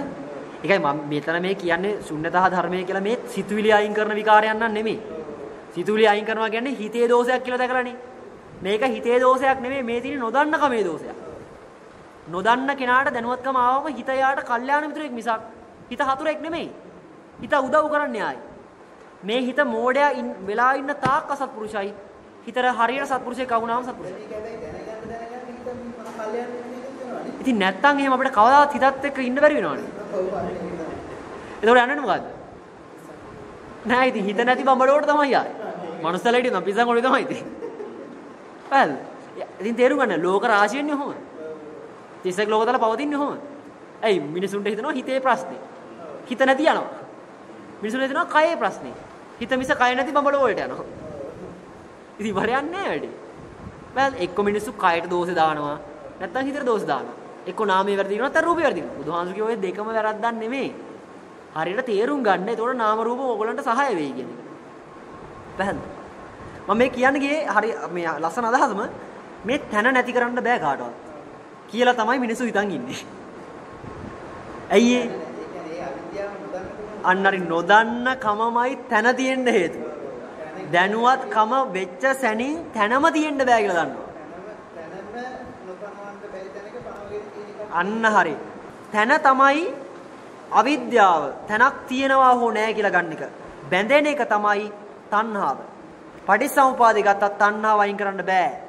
අවිද්‍යාවට එන්න ඕනේ. අන්න ඒකයි.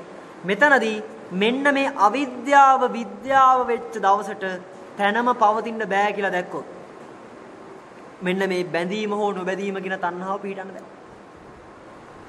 පැහැදිලි. ඒක තමයි හරි ලස්සනම අදහස මේකේ. නැත්තම් නම් තන නැති කරන්න ඉතින් උදේ ඉඳන් රෑ වෙනකම් පස් කොට ගැහුවත් පිටිපස්සේ පස් ඉරනවා මිසක් ඉවරයක් නෑ. මං කියන්නේ ඒක කරන්න බෑ. කරන්න පුළුවන් නම් කරන එක දෝෂයක් නෑ. කරන්න බෑ. ඒක භව්‍ය නෑ. හැබැයි බුදු පියාණන් වහන්සේලා අරෙන්න සියලුම සාසුන් වහන්සේලා පෙන්නුවේ තන අයින් කරන්න නෙවෙයි නොබැඳී ඉන්න. බැඳෙන්නේ නැතුව ඉන්න. ඒතකොට බැඳෙන්නේ නැති ඉන්නේ තැන ආයෙ බැඳෙනවා. බැඳෙනවා. ඒකයි අහු අහු වෙලා තියෙන්නේ. ඒ කටියට තේරෙන්නේ එතන අහු වෙනවා කියන්නේ. ඇයි ලෝකවල එතන ඊටාම සියුම් නේද? ඇයි බැඳෙන්න දෙයක් නැහැ කියද්දි ඒගොල්ලන්ට තේරෙන්නේ නැහැ බැඳෙන්න දෙයක් නැහැ කියන රූපයට බැඳෙනවා කියලා. ඒක තමයි.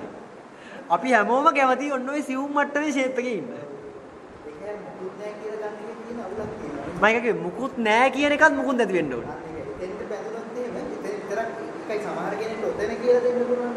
ඔතෙන් මුකුත් නැහැ කියන එක. ඔව් ඔතෙන් විතරක්වත් කරලා ඉන්නකොට සමහරට අර අසංඥ වගේ වෙන්න පුළුවන් ඒක. එහෙම තමයි වෙන්නේ. ඔව්.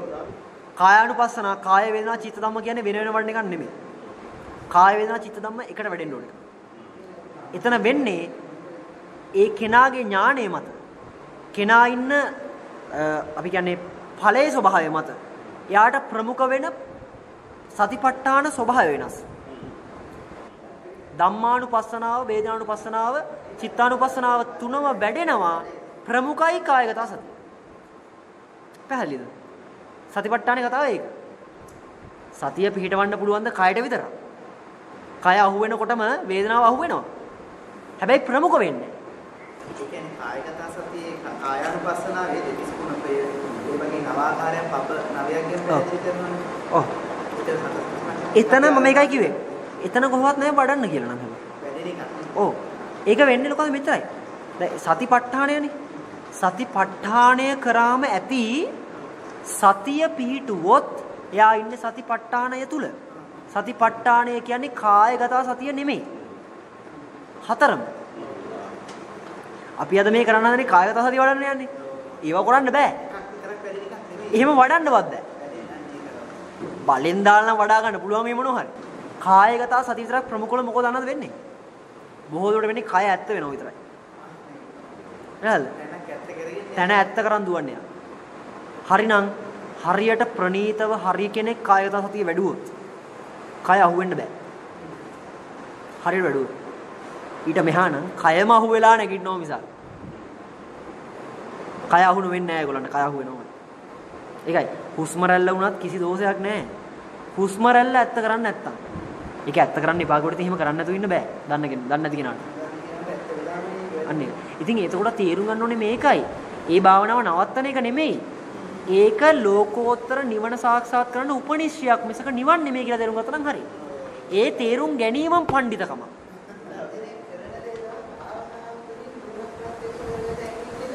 මිත්‍යා දෘෂ්ටිය. මේ හොල් ලෝකමේ දැන් ওই පිටකෝපදේශේ මම සෙන්සුරාද පෙන්නනම් ඒක තියෙන එක. කෙලින්ම කියන්නේ පරතෝ ഘോഷය කියන එක නැතුව බෑ කියලා මේක.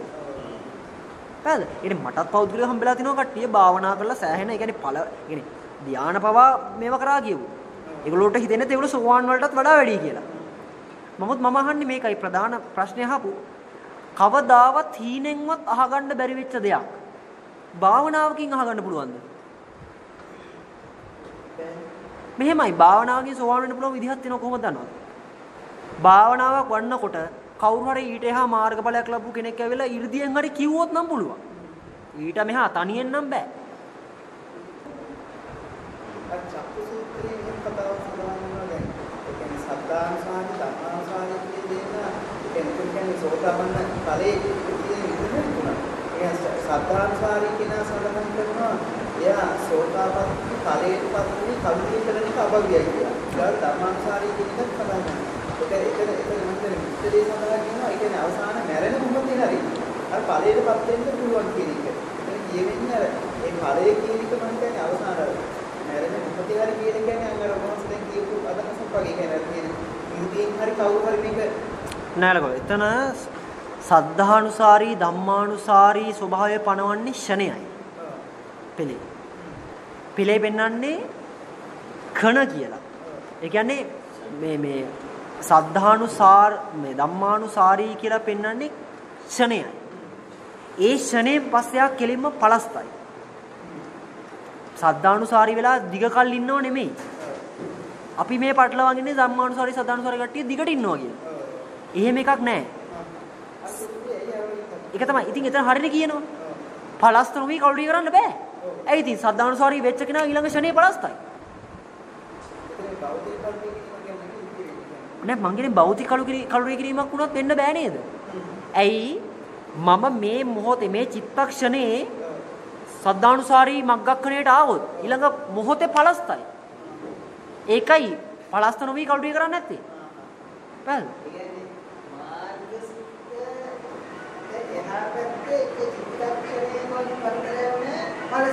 පළ වෙනවා.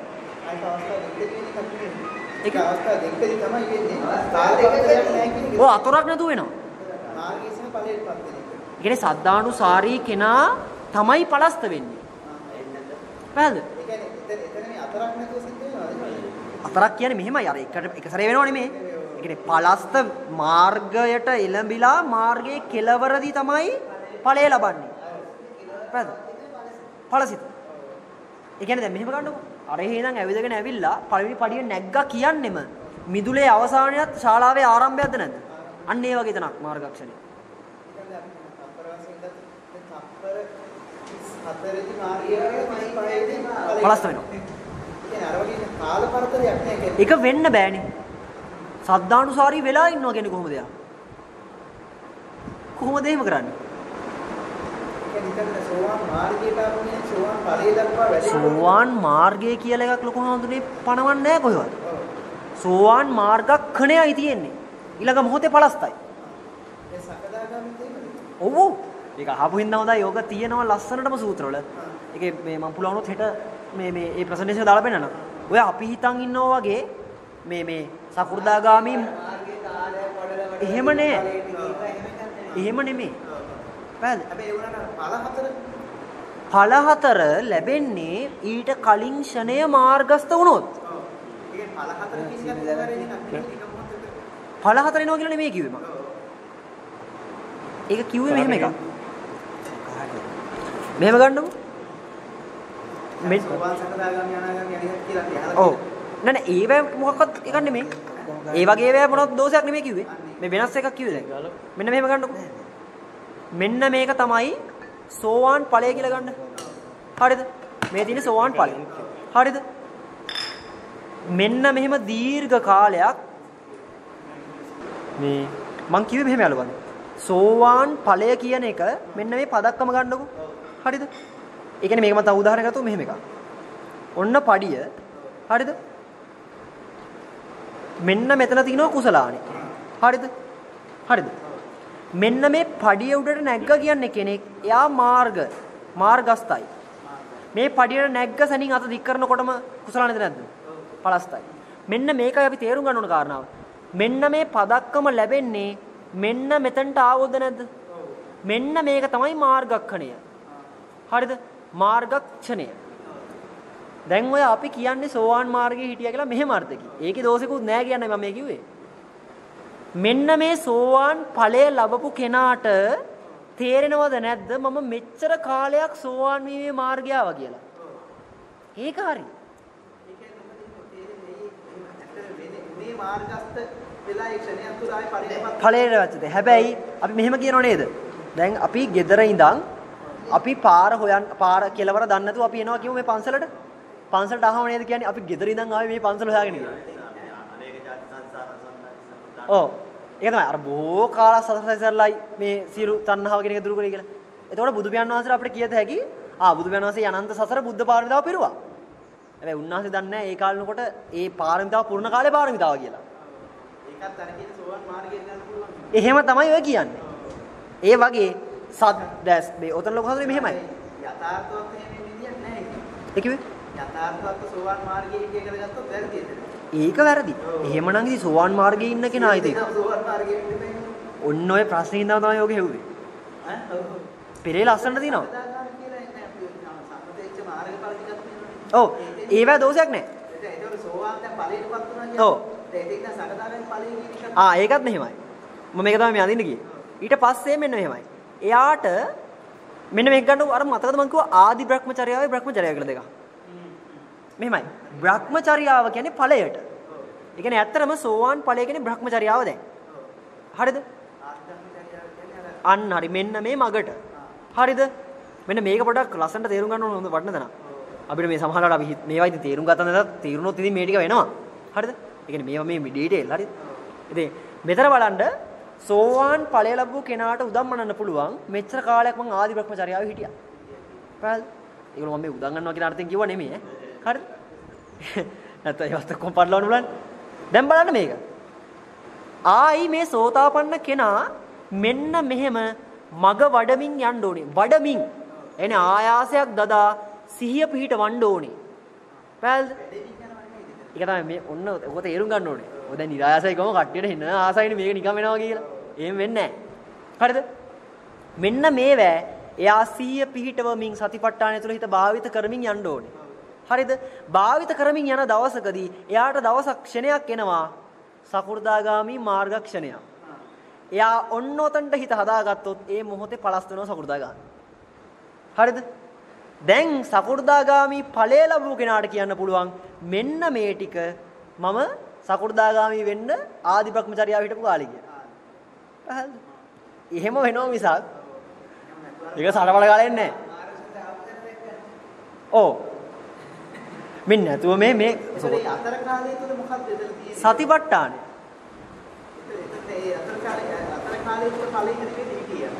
ඒ අතර කාලේ සෝවාන් ඵලය තමයි. හැබැයි සකු르දාගාමි මාර්ගය කියන්න බෑ. නෑ ඒක ගතර දෝෂයක් නෑල කොහොමද? ඇයි ඉතින් සෝතාපන්න වෙනා කොහොමත් සකු르දාගාමි වෙනවනේ. දෝෂයක් නෑ ඒක. සකදාගාම ඵලයේ පස්සේ මේකේ අර දැන් ඔයා සිත්නේ ඔව්. එතකොට සිතක් පහළ වෙන්නේ කොයි විකාරයේ කොයි විදිහකට අර අතරගම සාධුමාන කොතරම්වත් සකදාගාමී මාර්ග සිතක් නැහැ. අන්න එකයි. එතනට තමයි try වෙන්නේ දැන්. ඒක තමයි සූදානම්. එයා ඒකට තමයි සතිපට්ඨාන කරන්නේ. ඒක හරියට මේ වගේ. ඒ කියන්නේ අර අර දැකලා දිනවද සෙල්ලම් තියෙන්නේ මිටියෙන් ගැහුවාම යන උඩට. අර පොඩි බෝලයක්. ඒකේ හොඳම දිනුම තියෙන්නේ මොකද්ද? බැදුනොත් නේ අර බෝල් ලොකු මේ සිලින් එකට. එහෙම දැකලා නැද්ද ඒක? ඉතින් මෙහෙම එකක්. මෙන්න මේ වගේ ලොකු අර අපි මේ මේ gediya gediya gediya වගේ තියෙනවා සිම්බල් එකක්. හරිද? මෙතන යට ඔන්නෝම කණුවක් තියෙනවා. මේ කණුවේ තියෙනවා ඔන්නෝම gediya. හරිද? මෙන්න මේ gediya අහුවෙලා තියෙන මෙන්න මේ පෝඩියම් එකේ ලොකු මිටියක් තියෙනවා ඔහොම. හරිද? කියනවා මේ මිටිය අරගෙන පුළුවන් තරම් උස්සලා ගහන්න කියලා. ඔව් ගහන්නේ යම් වේගයකින්ද ඒ මට්ටමේ මේක උඩ යනවා. හයියම ගැහුවා. මෙතන වැදිලා මේක සලන් සලන් සලන් ගාලා සද්ද එනවා. පැහැදිලිද? තේරුම් ගන්න මෙන්න මේක සකු르දාගාමි වගේ. හරිද? දැන් සෝවාන් වෙච්ච කෙනෙක් නෙමෙයි ගහන්නේ. එයා ගහන සමහර කුළුගිඩි පාරවල් මැද එන්නේ. පැහැදිලිද? අන්න හරි. හැබැයි මේ සෙල්ලම අවාසි. සකු르දාගාමි වෙන කෙනෙක්, ඒ කියන්නේ සෝවාන් වෙච්ච කෙනෙක් සකු르දාගාමි වෙන්න දඟලන එක වාසි. ඇයි කලින් සිහිය පිහිටවුණා නම් 10%ක් ඒකේ ආනිසංස වාරයෙන් ඊට පස්සේ පුළුවන් අවම 10ක් හෝ 110ට වඩා තියන්න. එන්න එන්න සිහිය වැඩි කරනවා. ඔව්. දැන් මේ සෙල්ලමේදී එක සැරයක් මෙහෙම හයියෙන් ඩංගල ගහම වැදිලා පල්ලෙහාට මෙනවනේ. අරකේම නැහැ. අරකේ ගැහුවොත් ඒ ගානට හිටිනවා. ආ අන්න ඒක තමයි වැඩෙනවා කියන්නේ මගේ. නියතයි. අන්න හරි. ඒක ඉවරයි දැන්. එයාට ඕනේ ඊළඟ සැරේ ඊට පස්සේ ගහන්න. පැහැදිලි. අන්න ඒක තමයි මේකේ අපි අපි අතරම නොදන්න කෑල්ල ඔය. අපි හැමෝම හිතන්නේ මේක නිරාසයි කොහොම නියමයි කියලා. එහෙම නෑ. නෑ ඒක ඒක හරි. කොහොමද මම ඒක කිව්වේ මමත් කිව්වේ නිරාසයි කියලා. මම කිව්ව නේද සාසනේ නිරායස කියලා. සාසනේ මොනවද තියෙන්නේ? මම බැර මම බොරු කිව්වේ නෑ එතන. මම කිව්වේ සෝවාන් සකෘදාගාමි අනාගාමි අරහත් මාර්ගඵල කියන 8යි නිරායාස. ඵලය තමයි නිරායස. ඵලයත් මාර්ගක්ෂණයත් නිරායාස වෙනවා.